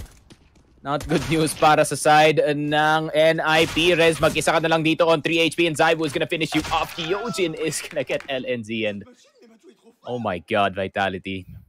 This this could be the sign. This could be the sign, Ray, kasi considering na NIP nga, no, yung stat na 66% ng kanilang rounds na nanggagaling dito sa CT, not the best start para sa kanila and Vitality starting things strong dito sa first round. Ay, naku po. Maraming signs of life na yung vitality. Pero NIP, paano kaya talaga sila makakatayo ngayon? But uh, here it is. Si ba nanalo Ents versus G2 kahapon? Of Ents course, ends, of Ents? course. Ay, oh, Alam nanood, niyo, Gino nanood talaga. ako. Oh, Oh, The mamaya device na though. sabihin sana ako, pero mamaya na lang yan. Pero Apex will be punished G2 by who? device. Di namin Okay. kilala yun. Di namin Alam mo, kilala yung re-roster. G2. Alam mo, kanina dati ko pa sila sabi, magre-roster na sila. Bring Kenny S back, guys. Yun talaga yung solution. oh, Besuta do. Akala ko yung op yun yung pala. Baga lang ng draw ng scout. Pero device, dami niya natag dito with the scout. And if makatag pa siya ng isa, then that's good news para sa NIP. Madami silang mababawasan dito. Pero Rez pushed up all the way dito sa my 8 long. Is it gonna help the cause of NIP? Let's see. Not really sure. Not really sure. But if at least Device gets another shot, sobrang maganda na yun na sobrang makakahinga yung NIP ngayon with the numbers game. Oh, the timing. Ares. Ganda na sana. Kaso, alam mo naman, Zaiwu, on point. Shoutout sa'yo, Dennis Gumabon. Pero this time, Device, if he'll be able to get at least talaga sa short. Pero, mag-rotate na ngayon ang Vitality. Pero meron pa, Hampus, get the perfect timing, then it's gonna be favoring your teammates. But as we see also, mapupunta sila ng connector. Ay, naku po, sa Rechi tumingin. Ako, narinig niya. And he gets one, and he gets two. Ooh. That is it. Twice, stream it. and I will get LNZ, pero nga, he's only the man left. He gets Oh, one. He's going to the Jesus. 1v2, but it's after and he gets the top. He gets it up against Device. Hapos na lang kagad na natitira 1v1. Zaiwu is a madman right now. A king of AKs. And he's already expecting Oh, He he gets threw it. And he pops the flash. Still, who's gonna get this? Oh, Zaiwu, ang init mo. Oh, even without that op, he's playing the mind games. He's already Oh, he knows, as to alam where niya. Hapos is. Oh, no. Hapos! Oh, Sayang. Jesus Christ, Zayu. Oh my God, Zayu, don't do that to us. Grabe. The almost clutch galing dito kay Zayu. A disaster of a start para sa side ng Vitality. Di nila alam kung saan titingin dito sa mga NIP members. They get the first round para dito sa side nila. But Zayu, that was a close effort galing sa kanya. But that tap doon sa Heaven, that was extra nasty. I need to see that again. And yung nangyari dito kay LNZ, inuna niya muna dito yung nag-push before going back kay Zayo. But that one tap on device, ooh, perfection galing sa kanya. So alam, at least alam natin na mainit si Zayu. Para sa side ng Vitality. And Apex, don't have to worry man. God carry Zayu is gonna find a way para dito sa Vitality. But NIP though, really good job. Close quarters with those Deagles. And that is what you're supposed to do with those uh, upgraded pistols. Nga, kasi Deagles, two shots lang to the body pag palapitan. Di- Buti na lang na ipanalo ng NIP yun or else and Device gets a tap against Kyojin but Misuta good trade coming right up. But when it comes to the utilities, kitang-kita mo naman, empty-handed ang Vitality as Hampus sees also Zaiwu. And mag-audition sila. Oh no, he gets Hampus still. EV3. It's all about the mode. Di na lang mahawak-hawak ni Misuta. But a shocks behind the scenes, ginagapang niya tong short. Pero na, itata siya ni Plopsky. Goes with a wall bang gets tagged against Shocks. Uy, LNZ, tumama ka naman! Oh. Tumama! Yan ang sinasabi ko. Pag may Tech 9, napain, possible pa rin para may panalo nga to ng Vitality. But syempre, NIP, mas maganda ang kanilang mga baril. Kumuha na ka pala ng FAMAS ngayon si Shocks. 9 HP, but the numbers game, syempre, advantage nila. Mhm. And yeah, NIP losing three members in the process. Vitality punishing the overextensions galing sa NIP. Not gonna lie, hindi ko, I wouldn't imagine myself saying that. NIP getting punished for overextensions. It's not the, not really a common thing para dito sa NIP to go for those aggressive strats unless nga si Hampus or si LNZ with those really close angles. Pero Rez, with that AK-47. If he gets taken out immediately dito sa site, this could be trouble. 26 HP na lang siya and he's gonna get swinged on by... Oh my god, he's gonna live barely. Shucks with that FAMAS is a big threat pero one person taken down para sa side ng Vitality. Onting spam galing kay Apex pero Polopsky with the timing dito sa may dumpster area. Shucks na lang natitira with that FAMAS and 5 seconds left. Taking the plant and is gonna get Ferrari peaked dito kay Plopsky and 2 to 1 NIP. Yan na, getting the lead for the first time in this series sa overpass and ayun na nga, signs of life sa city side dito ng NIP but Vitality you know, taking down some members here so baka medyo broke pa ang mga NIP members natin dito. Pero if the second time na mag-extend na, mag-overextend tong uh, NIP, feel ko kala nila tigil-tigilan yon. They all know that round could have been sa side ng Vitality. Bruto na lang Rez was able to save the day. But on the other side, the device, he gets an information as to where these guys are. Oh, all of them. Okay, kita niya, nag-cross. So, ayan, natuto na sila ngayon, Sneaky. Coach Sneaky. Mm. What? Uh, Rest. Okay, Device sa party. He gets one. He gets three. But oh no, sabi ni Zaiwu, no, I Oh, won't Zaiwu with the you to do M4. that. Oh no. But Ah, okay. rest. Okay, ang ganda ng hold ni Resident dito. Na-expect na din nila kasi lugi na din. Wala ding utilities ngayon. Ang Vitality only have shocks left and Plopsky will be finishing him out. Okay, city side, the first half, para kapag nandyan ang um, NIP t- team ko talaga, it's gonna be favoring them. So, it's really helpful when they start sa CD kasi nakaka-gain sila ng momentum eh. Yun talaga yung meron sa kanila. Pero nga lang, syempre, di parate na nasa city sila on the first half. So, they really need to improve on their T side more. But uh, knowing Team Vitality, they're all on an AK now. And the, the fact that Zai who could have won that second round earlier, we're gonna be seeing more out of him. Mm. Kakabahan ka talaga palagi no pag naka-pick up ng rifle itong si Zaiwu. It's always a possibility of a super play from the best player in the world. Pero Kyojin is gonna take down Device. That's a good start. Yun ang overextensions ang hinahanap dito ng Vitality. But that was just a pu- purely a pre-fire dito sa my party area. NIP losing one, not the best news. So now they're gonna have to play, you know, really, really close. And I think kailangan nilang is-smoke ang monster area. Pero Zach with a really good headshot. Pero LNZ with close quarters MT9. And that was where the SMG flourish says sa malapitang battle talaga. And LNZ and Plopsky just gonna finish everyone off. It was a really good attempt galing sa side ng Vitality. They had the start, but they did not have the finish. Ganda sana ginawa ni Zaiwu. Pero on the other side kasi ng map, eh, we have LNZ. Kung ayaw mo talagang magkaroon ng roster changes. Kaya talaga bumawi ni LNZ kasi earlier sa Nook, he didn't perform well. Pero at least ngayon bumabawi-bawi. Pero dito, on the YouTube part, rooting for NIP for both the tournament and major. Of course, it's still NIP that we're talking about here. These kids they still have a lot on what it takes, of course, to be the champions. Pero, marami silang kakainin bigas and save round for Vitality this time around. Pero when it comes to the save round, with just some digs, sobrang posible pa rin na pwede nilang makuha to. Pero wala kasi silang armor. So, uh, medyo, ayun na nga, I think, magkamali ako doon. Apex with a top, gets device, Plopsky, On the other hand, gets Shaw's res ngayon. He will be dating Zaiwu. Pwede na silang mag-push Oh, aside ng Vitality going towards A. Pero Hampus just gonna be waiting for them and delaying them with the smoke. Ah, but Zaiwu has the AWP, so meron ng possibility na pwedeng may magawa dito ang Vitality, but Rez preventing Apex from getting control dito sa long, but the peaks are gonna start to come in. Hyojin gonna get taken down, Nade. Make them back off, pero Misuta with a really good tap. Zaiwu with the op. Makuha na dito si Rez, and that's gonna be one. And bomb secured para sa kanya. He can go all the way back dito sa B, or he has the choice of just staying in the base and going for that save. Pero si Zaiwu, tamang ikot lang ng talon knife muna bago siya pumunta dito sa B. Pero Plopsky and LNZ, mukhang wala silang information dito. If uh, dumiretso dito si Zaiwu papunta sa B site, then I think NIP would have no idea.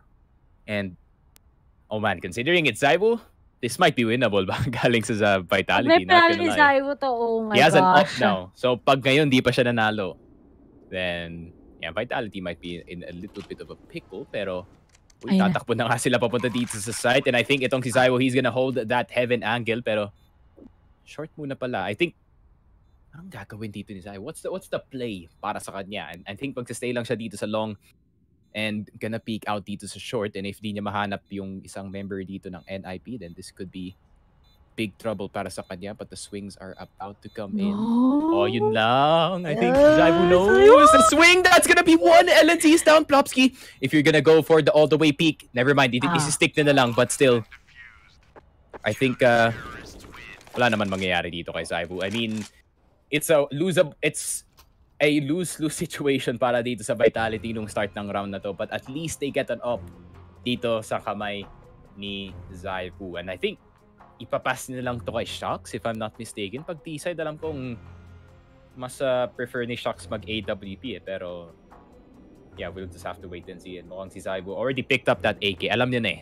Alam niya na that he doesn't have to deal with that AWP. And the timeout galing dito sa Vitality. May pera pa naman si Zaibu so may pang-drop siya sa kanyang teammate. At mukhang, oh, never mind. He's gonna stick to the AWP. Interesting. Galing dito sa Vitality. Since pumapalo naman siya, I think that's pretty helpful. Pero dito nga, pasok na ba phase? Uh, yeah, yeah, I think, yeah, alam ko, alam ko pasok na yung phase. God carry Zaibu. He is, he is a God lang carry. Pero tignan namin ha, baka ma-fake news kami kung pasok na yung phase. But uh, looking aside here, NIP, okay, device with an op, uh, still carries. But this boost itself, uh, Zaibu, ay, wala. Aware ang NIP that we have uh, Zaibu with it up already because he was able to save it. Uh, challenger status right now ang phase, but that could change since, you know, nagpe-play pa yung Ah. tournament and uh, Yep, they could yep, get yep. taken over by Copenhagen Wolves, Team Fiend, or Movistar Riders. The three tier two teams na naandoon sa fifth to fourth place or fifth to sixth place decider. So it could really shift into not in the favor of FaZe Clan, pero Rez with a really good angle dito sa my tree, but he gets caught out immediately dito sa long and Hampus has to back off all the way doon sa site. And Zaiwu with that AWP, meron ng control dito ang Vitality but Shocks, ooh, if he spots one dito sa may short, this could be huge. And Plopsky is gonna go down. The Lurks is not working out para dito sa NIP and they're just losing members everywhere dito sa mapa. And Hampus is gonna get spotted. Hindi na napansin yung ulo doon. Sa jump spot and Kyojin with a really easy swing. And uh, dalawa na lang para sa NIP and Vitality looking looking like they might get this round back pero Device na andun pa rin sa may WC na area, he could make a big play with that AWP and if hindi na catch out dito si Device, then big trouble. Pero Zaibu, he knows! He knows! Alam na alam niya that Device was gonna go for that play. This guy is on another level in terms of reading plays against NIP. LNZ is gonna take down Kyojin but not much more and Zaiwu, mukhang good decision nga na siya yung mag-op dito sa T-side and uh, yeah, 5 to 2 Vitality really good play galing sa kanila but this entry kung hindi nila nakuha yung entry na to they're gonna struggle in taking that long position but daming uh, unlucky stuff na nangyari dito sa NIP eh. Pero, pero dapat, ewan ko, the, nag-extend na naman sila masyado. Sa tingin ko lang, yun lang din yung naging problem nila. But at least, uh, we're seeing Team Vitality on their T side getting life once again. But as we have a mo- match boss, oh, please lang, ah, wag yun na po gawin yung kahapon. Oh no. Tulog sila, Kenneth. Alam ko, 7 a.m. kukuha pa daw siya ng kape, sabi nila doon sa GC. So, ibig sabihin, mas mahaba ata yung stall time. Yeah, natulog na ako after game 3, not gonna lie, kasi I already knew that Ents was gonna win. Yun talaga yung mga true Ents fans, guys. You just sleep. 2-0 ba? Or they had a third map pa? Alam ko 2-0 eh. It is a 2-0. I think they did Yeah, Hindi they nila dinestroy. Uh, 2-1. I mean, binigyan sa Mirage. Or rather, binigyan pala sa Noob kasi. Sometimes you gotta give it, man. Sometimes you gotta give charity. Pero, yeah, they finished it dito nga sa map 3 in overtime. But, Vitality though, looking for those picks. And Device not flicking up fast enough. Apex is gonna catch him out. Shucks. Trying to get this entry going dito sa side. Pero LNZ takes him down. Plopsky with the corner. Yun lang, Kyojin's gonna get him. What a good double kill para dito kay Kyojin. Taking down the Rifler sa side. And NIP losing control once again dito sa B. And Vitality in a little bit of a streak dito sa ating uh, first half. And NIP, wala silang pambili sa next round. Nag-force buy sila dito. So, ego talaga ang NIP dito. I mean, this, this is a possibility na 5 to 4 na yung score dito ng Vitality if they play the eco round well. Kyojin, getting that AK kill and tinapos na nga 5 to 3 Vitality. Quick one galing sa kanila and partida may AWP pa si Device doon. Unfortunately, he went up against Apex. Couldn't flick up fast enough. Vitality sealed the round. And looks like uh, we have here side ng uh, Vitality Kyojin. Sobrang aggressive na niya. Nagiinit na talaga siya din ngayon. And once he gets those frags early on, sobrang uh, mang, sobrang magsa-struggle yung NIP ngayon. And speaking of all USP, but oh, magkakasama lang sila yan. Family sila this time around. I think that's a much better one kasi uh, na strategy when you just want to to take this one over Vitality. But it's quite dangerous at the same time kasi open-open kagad ang B and they would just be going for a retake. Mm-hmm. And dito nga taps. Kyojin, I think he knows exactly what NIP is trying to do dito sa long push. So they're gonna try to overwhelm him with numbers. Molotov ilalabas dito but they're gonna get the plant dito sa B side. So the timer is now starting para dito sa NIP. And good thing na pinunta dito sa Apex sa T because this is the perfect weapon para mag-farm ng mga USP players. And let's see, Apex, are you gonna get the swing? That's gonna be the first one down. Plus 600 para sa kanya. Potential 1200. Pinik up pa yung USP in between that fight. Alam niya talaga na mapapanalo niya to. And Misuta and Shocks finish the rest of them off. Plus 1200 para kay Apex.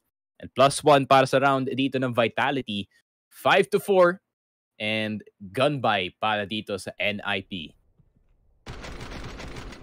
And right now, I think uh, the fact that the Vitality is uh, really on form, makakabawi talaga sila even if napapanish sila. And kitang ito mo eh, they know how to read the NIP.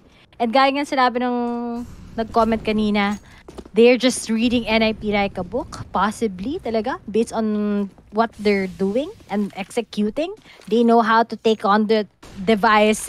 Kapag na-punish the device, it's gonna be giving NIP a harder time. Pero ngayon, hindi na siya naka-op. He's just going to be buying that M for A1S.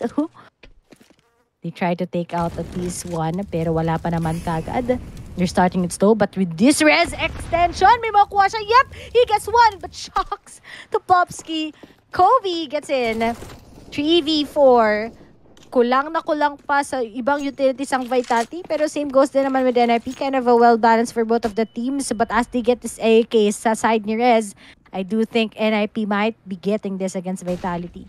Mhm. And yung pangit dito para sa Vitality na wala si Zaiwo and si Misuta early on. Yun yung dalawang players na gusto mo na buhay dito pang gusto niya pumasok ng site and Apex is gonna go down as well. Kyojin, at least nagawa nilang 2v3 itong situation. Kyojin and Shocks magro-rotate na pabalik dito sa Peace site and LNZ. Ako si LNZ pa. Ako si LNZ pa, Ray. Oh no, LNZ. No, Oh, buti no, na lang, no, no, na no, lang. no, no, no, no, no, na no, no, no. back off, into the B. Okay, okay. Safe, safe dito si LNZ. He's not gonna face two members and a really good off angle. wag kang tumingin. Wag kang titingin, wag kang pipikit. Ayun Okay, lang. wag- Nag-stack na sila dito sa B. Pero Hampus, pag namatay siya dito, never mind. Akala ko ma na makukuha pa ni Shox agad itong toxic player. Pero Shox, Molotov, lalabas. Ay, And, wait, mamatay na lang. Yun lang. NIP, really good wraparound. Not gonna lie. Nang, nung nakuha nila si Zaiwo and si Misuta, medyo sealed na rin yung round. Buti na lang. Kuha ng NIP because it's gonna be so um disappointing pag hindi pa. Especially with LNZ. Minsan he wants to try to go with the off angles pero kasi it's not working most likely when you're at the B side dito sa overpass. But uh, yeah, Mhm. for the side ng um, ni- NIP, they're still gonna go with a timeout. Hmm, interesting. Pero I think needed din naman kasi to- that they can talk about how Team Vitality goes in. Kasi ang daming pitas na practice na napipitasan ng Team Vitality. Buti na lang yung mga anchors nila ngayon like Rez and Hampus. Sila talaga yung nabubuhay. And LNC, at least this time around, let's commend him na sobrang stepping up siya compared to what happened on the previous map. But on the side of Team Vitality, they need more hard carry ngayon si Zaiwu. Apex, needs to snap out of it. Dapat di na siya ma- magalit. Parati din siyang galit para sa si Magisk. Uy, Vitality though. Nababawasan dito si Shox and I think Device is playing this really close corner sa may party area. Uy, magbaback off na lang siya dito sa long. He's gonna play it a bit safe.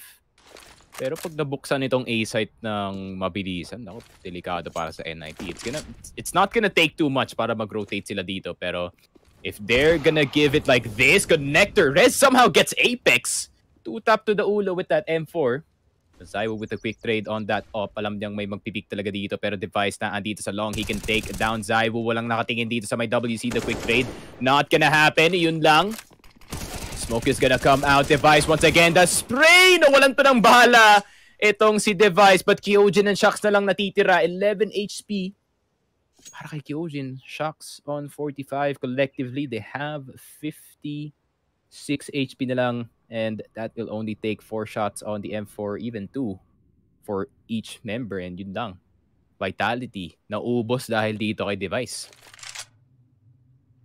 oh no, what will happen this time around? But uh, seems like uh, they only have uh, these two flashes coming from Kyujin, but there's still a big possibility. You still have shocks.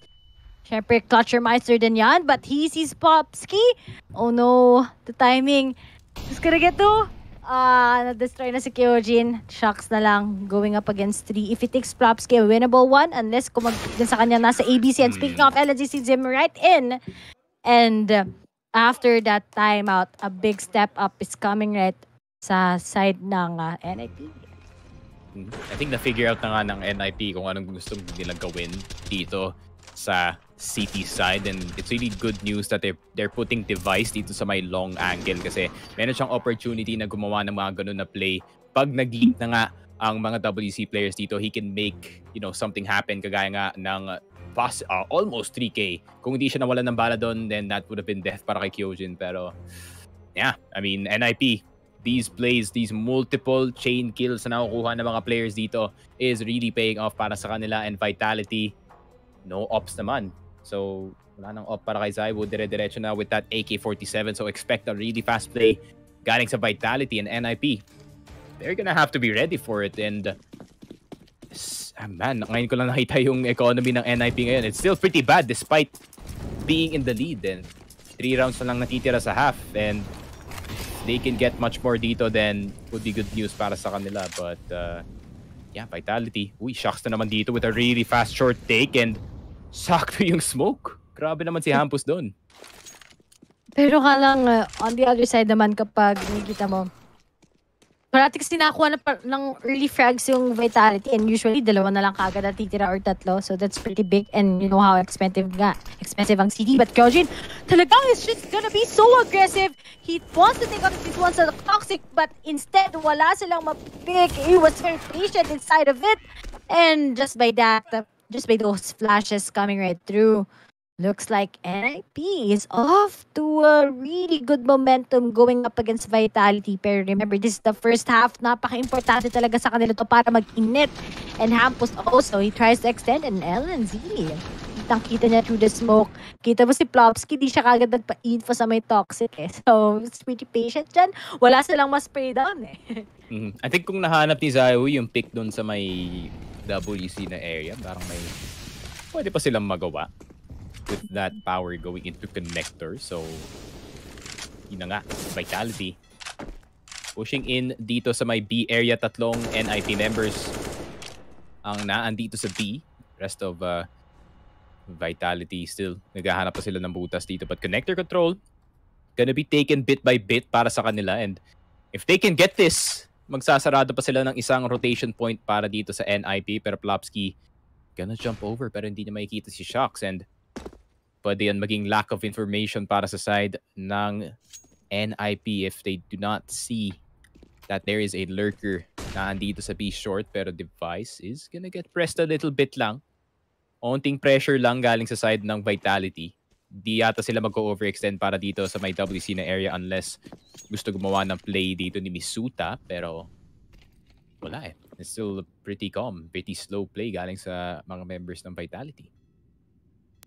Ano nga lang, how will the guys of uh, Vitality snap out of this? Kasi sobrang struggle pa rin sila. Pero nakita mo nandun naman yung puso. Pero NIP kasi sobrang ano sila eh. Hindi na yung katulad ng hard carry. All of them are doing so better for themselves. And at least Popsy gets one. But you know what? Kyojin is is still alive. And Apex gets against L and Z. They all know that it's the weaker link here in uh, short sa may B-side. But Device will smoke against Zaibu. Oh, that was pretty lucky out of him. Pero Device and Rez na lang natitira. They still have three flashes up ahead. Pwede pa nila gamitin to if makakapita si Rez. Pero nga lang, ang ganda ng hold ng Vitality. Pili ko safe call na lang to eh. Galing sa side ng NIP. I mean, it's really hard and the possibility of them getting a retake na nandito si Device sa heaven with that op. If he does fall, then That's an op loss para sa side ng NIP and mukhang mag-back off na lang sila dito. Knowing na meron namang silang economy going into the next round for 350 para dito kay Device. So, pwede siya mag-drop ng M4 para sa kanyang teammate. But Vitality, they're still collecting rounds dito sa kanilang T side and NIP, you know, on a timer dito sa CT side. And that's it. Mukhang maganda na yung magiging entries nila. Those good calls coming in. But kailangan pa rin talaga mag-igib ng maraming points itong Team Vitality. If they get at least a 6, that's really big sa kanilang T-side because we all know how well-balanced it is for the both sides. And NIP, if I were you, I need to secure at least a double-digit score para lang talagang may pag-asa pa to take this map out of Team Vitality's hands. But as we see here, Zai was still with an op. Device still with an op na. It's the battle of the offers that we have. But the most important thing here is who's gonna get who muna sa early frag so that they can actually make a decision. And speaking of, even if blinded, Device was really keen against Apex. And yun yung sabi ko eh, di ba? Pag si Apex talaga siya na-shutdown mo sa parating gusto niyang entry or whatever place that he wants to do, sobrang tilter din talaga yun eh.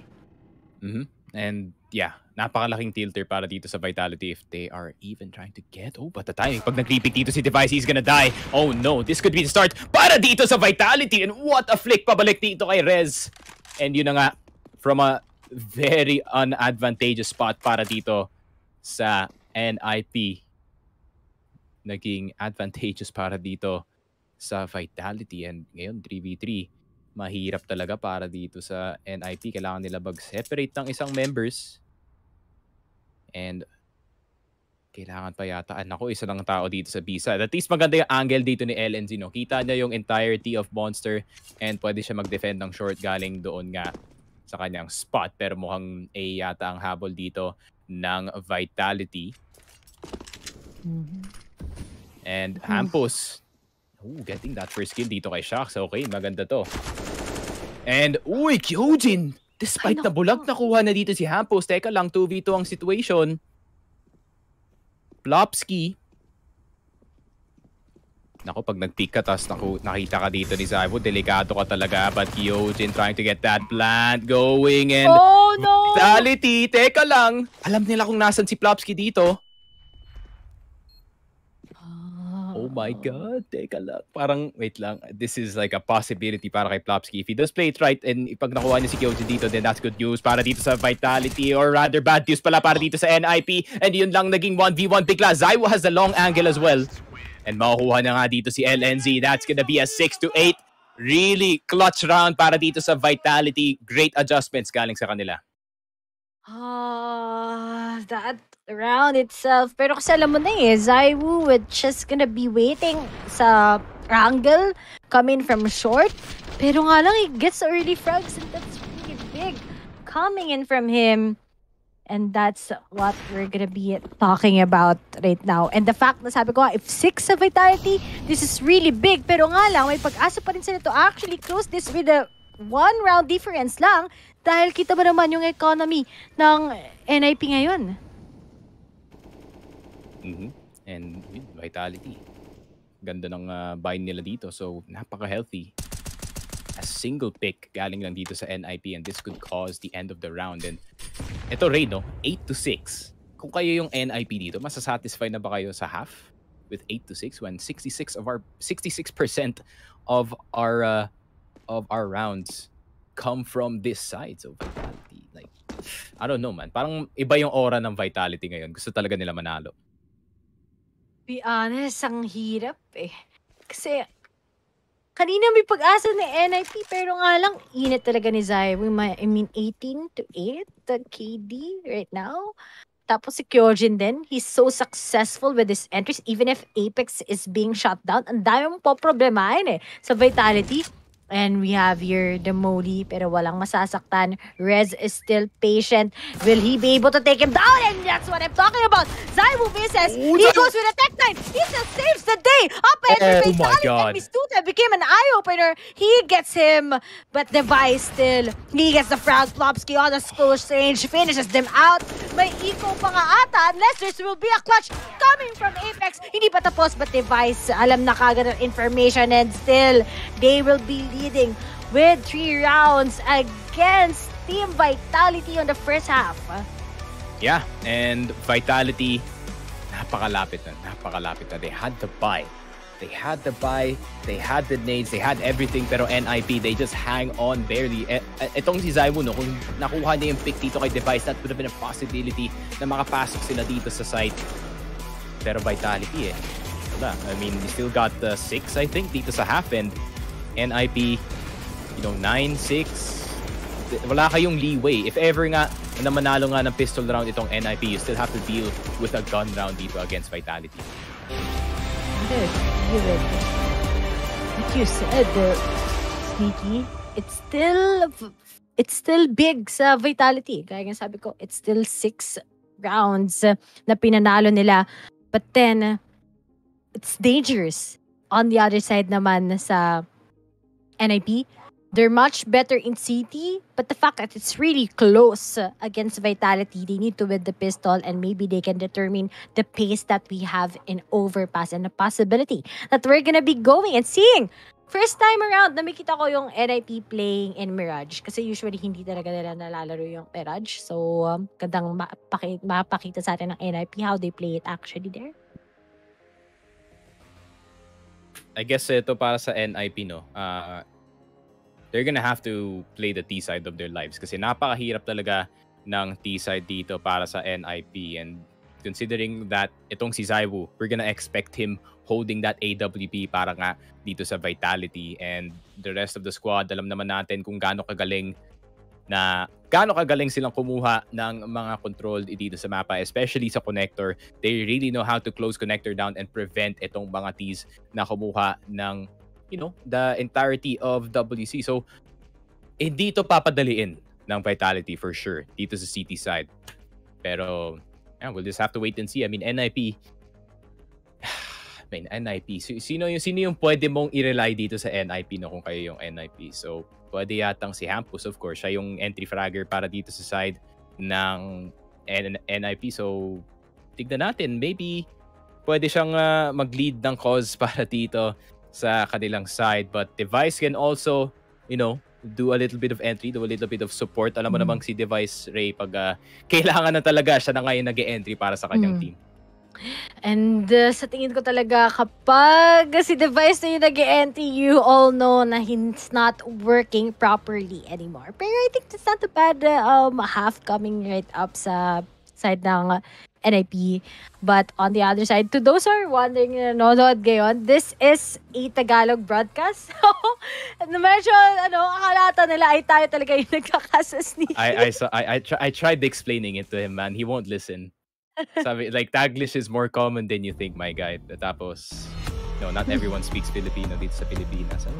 Shout out to our Cebuanos, dude. Like, shout out to the homies from Cebu. Yan talaga.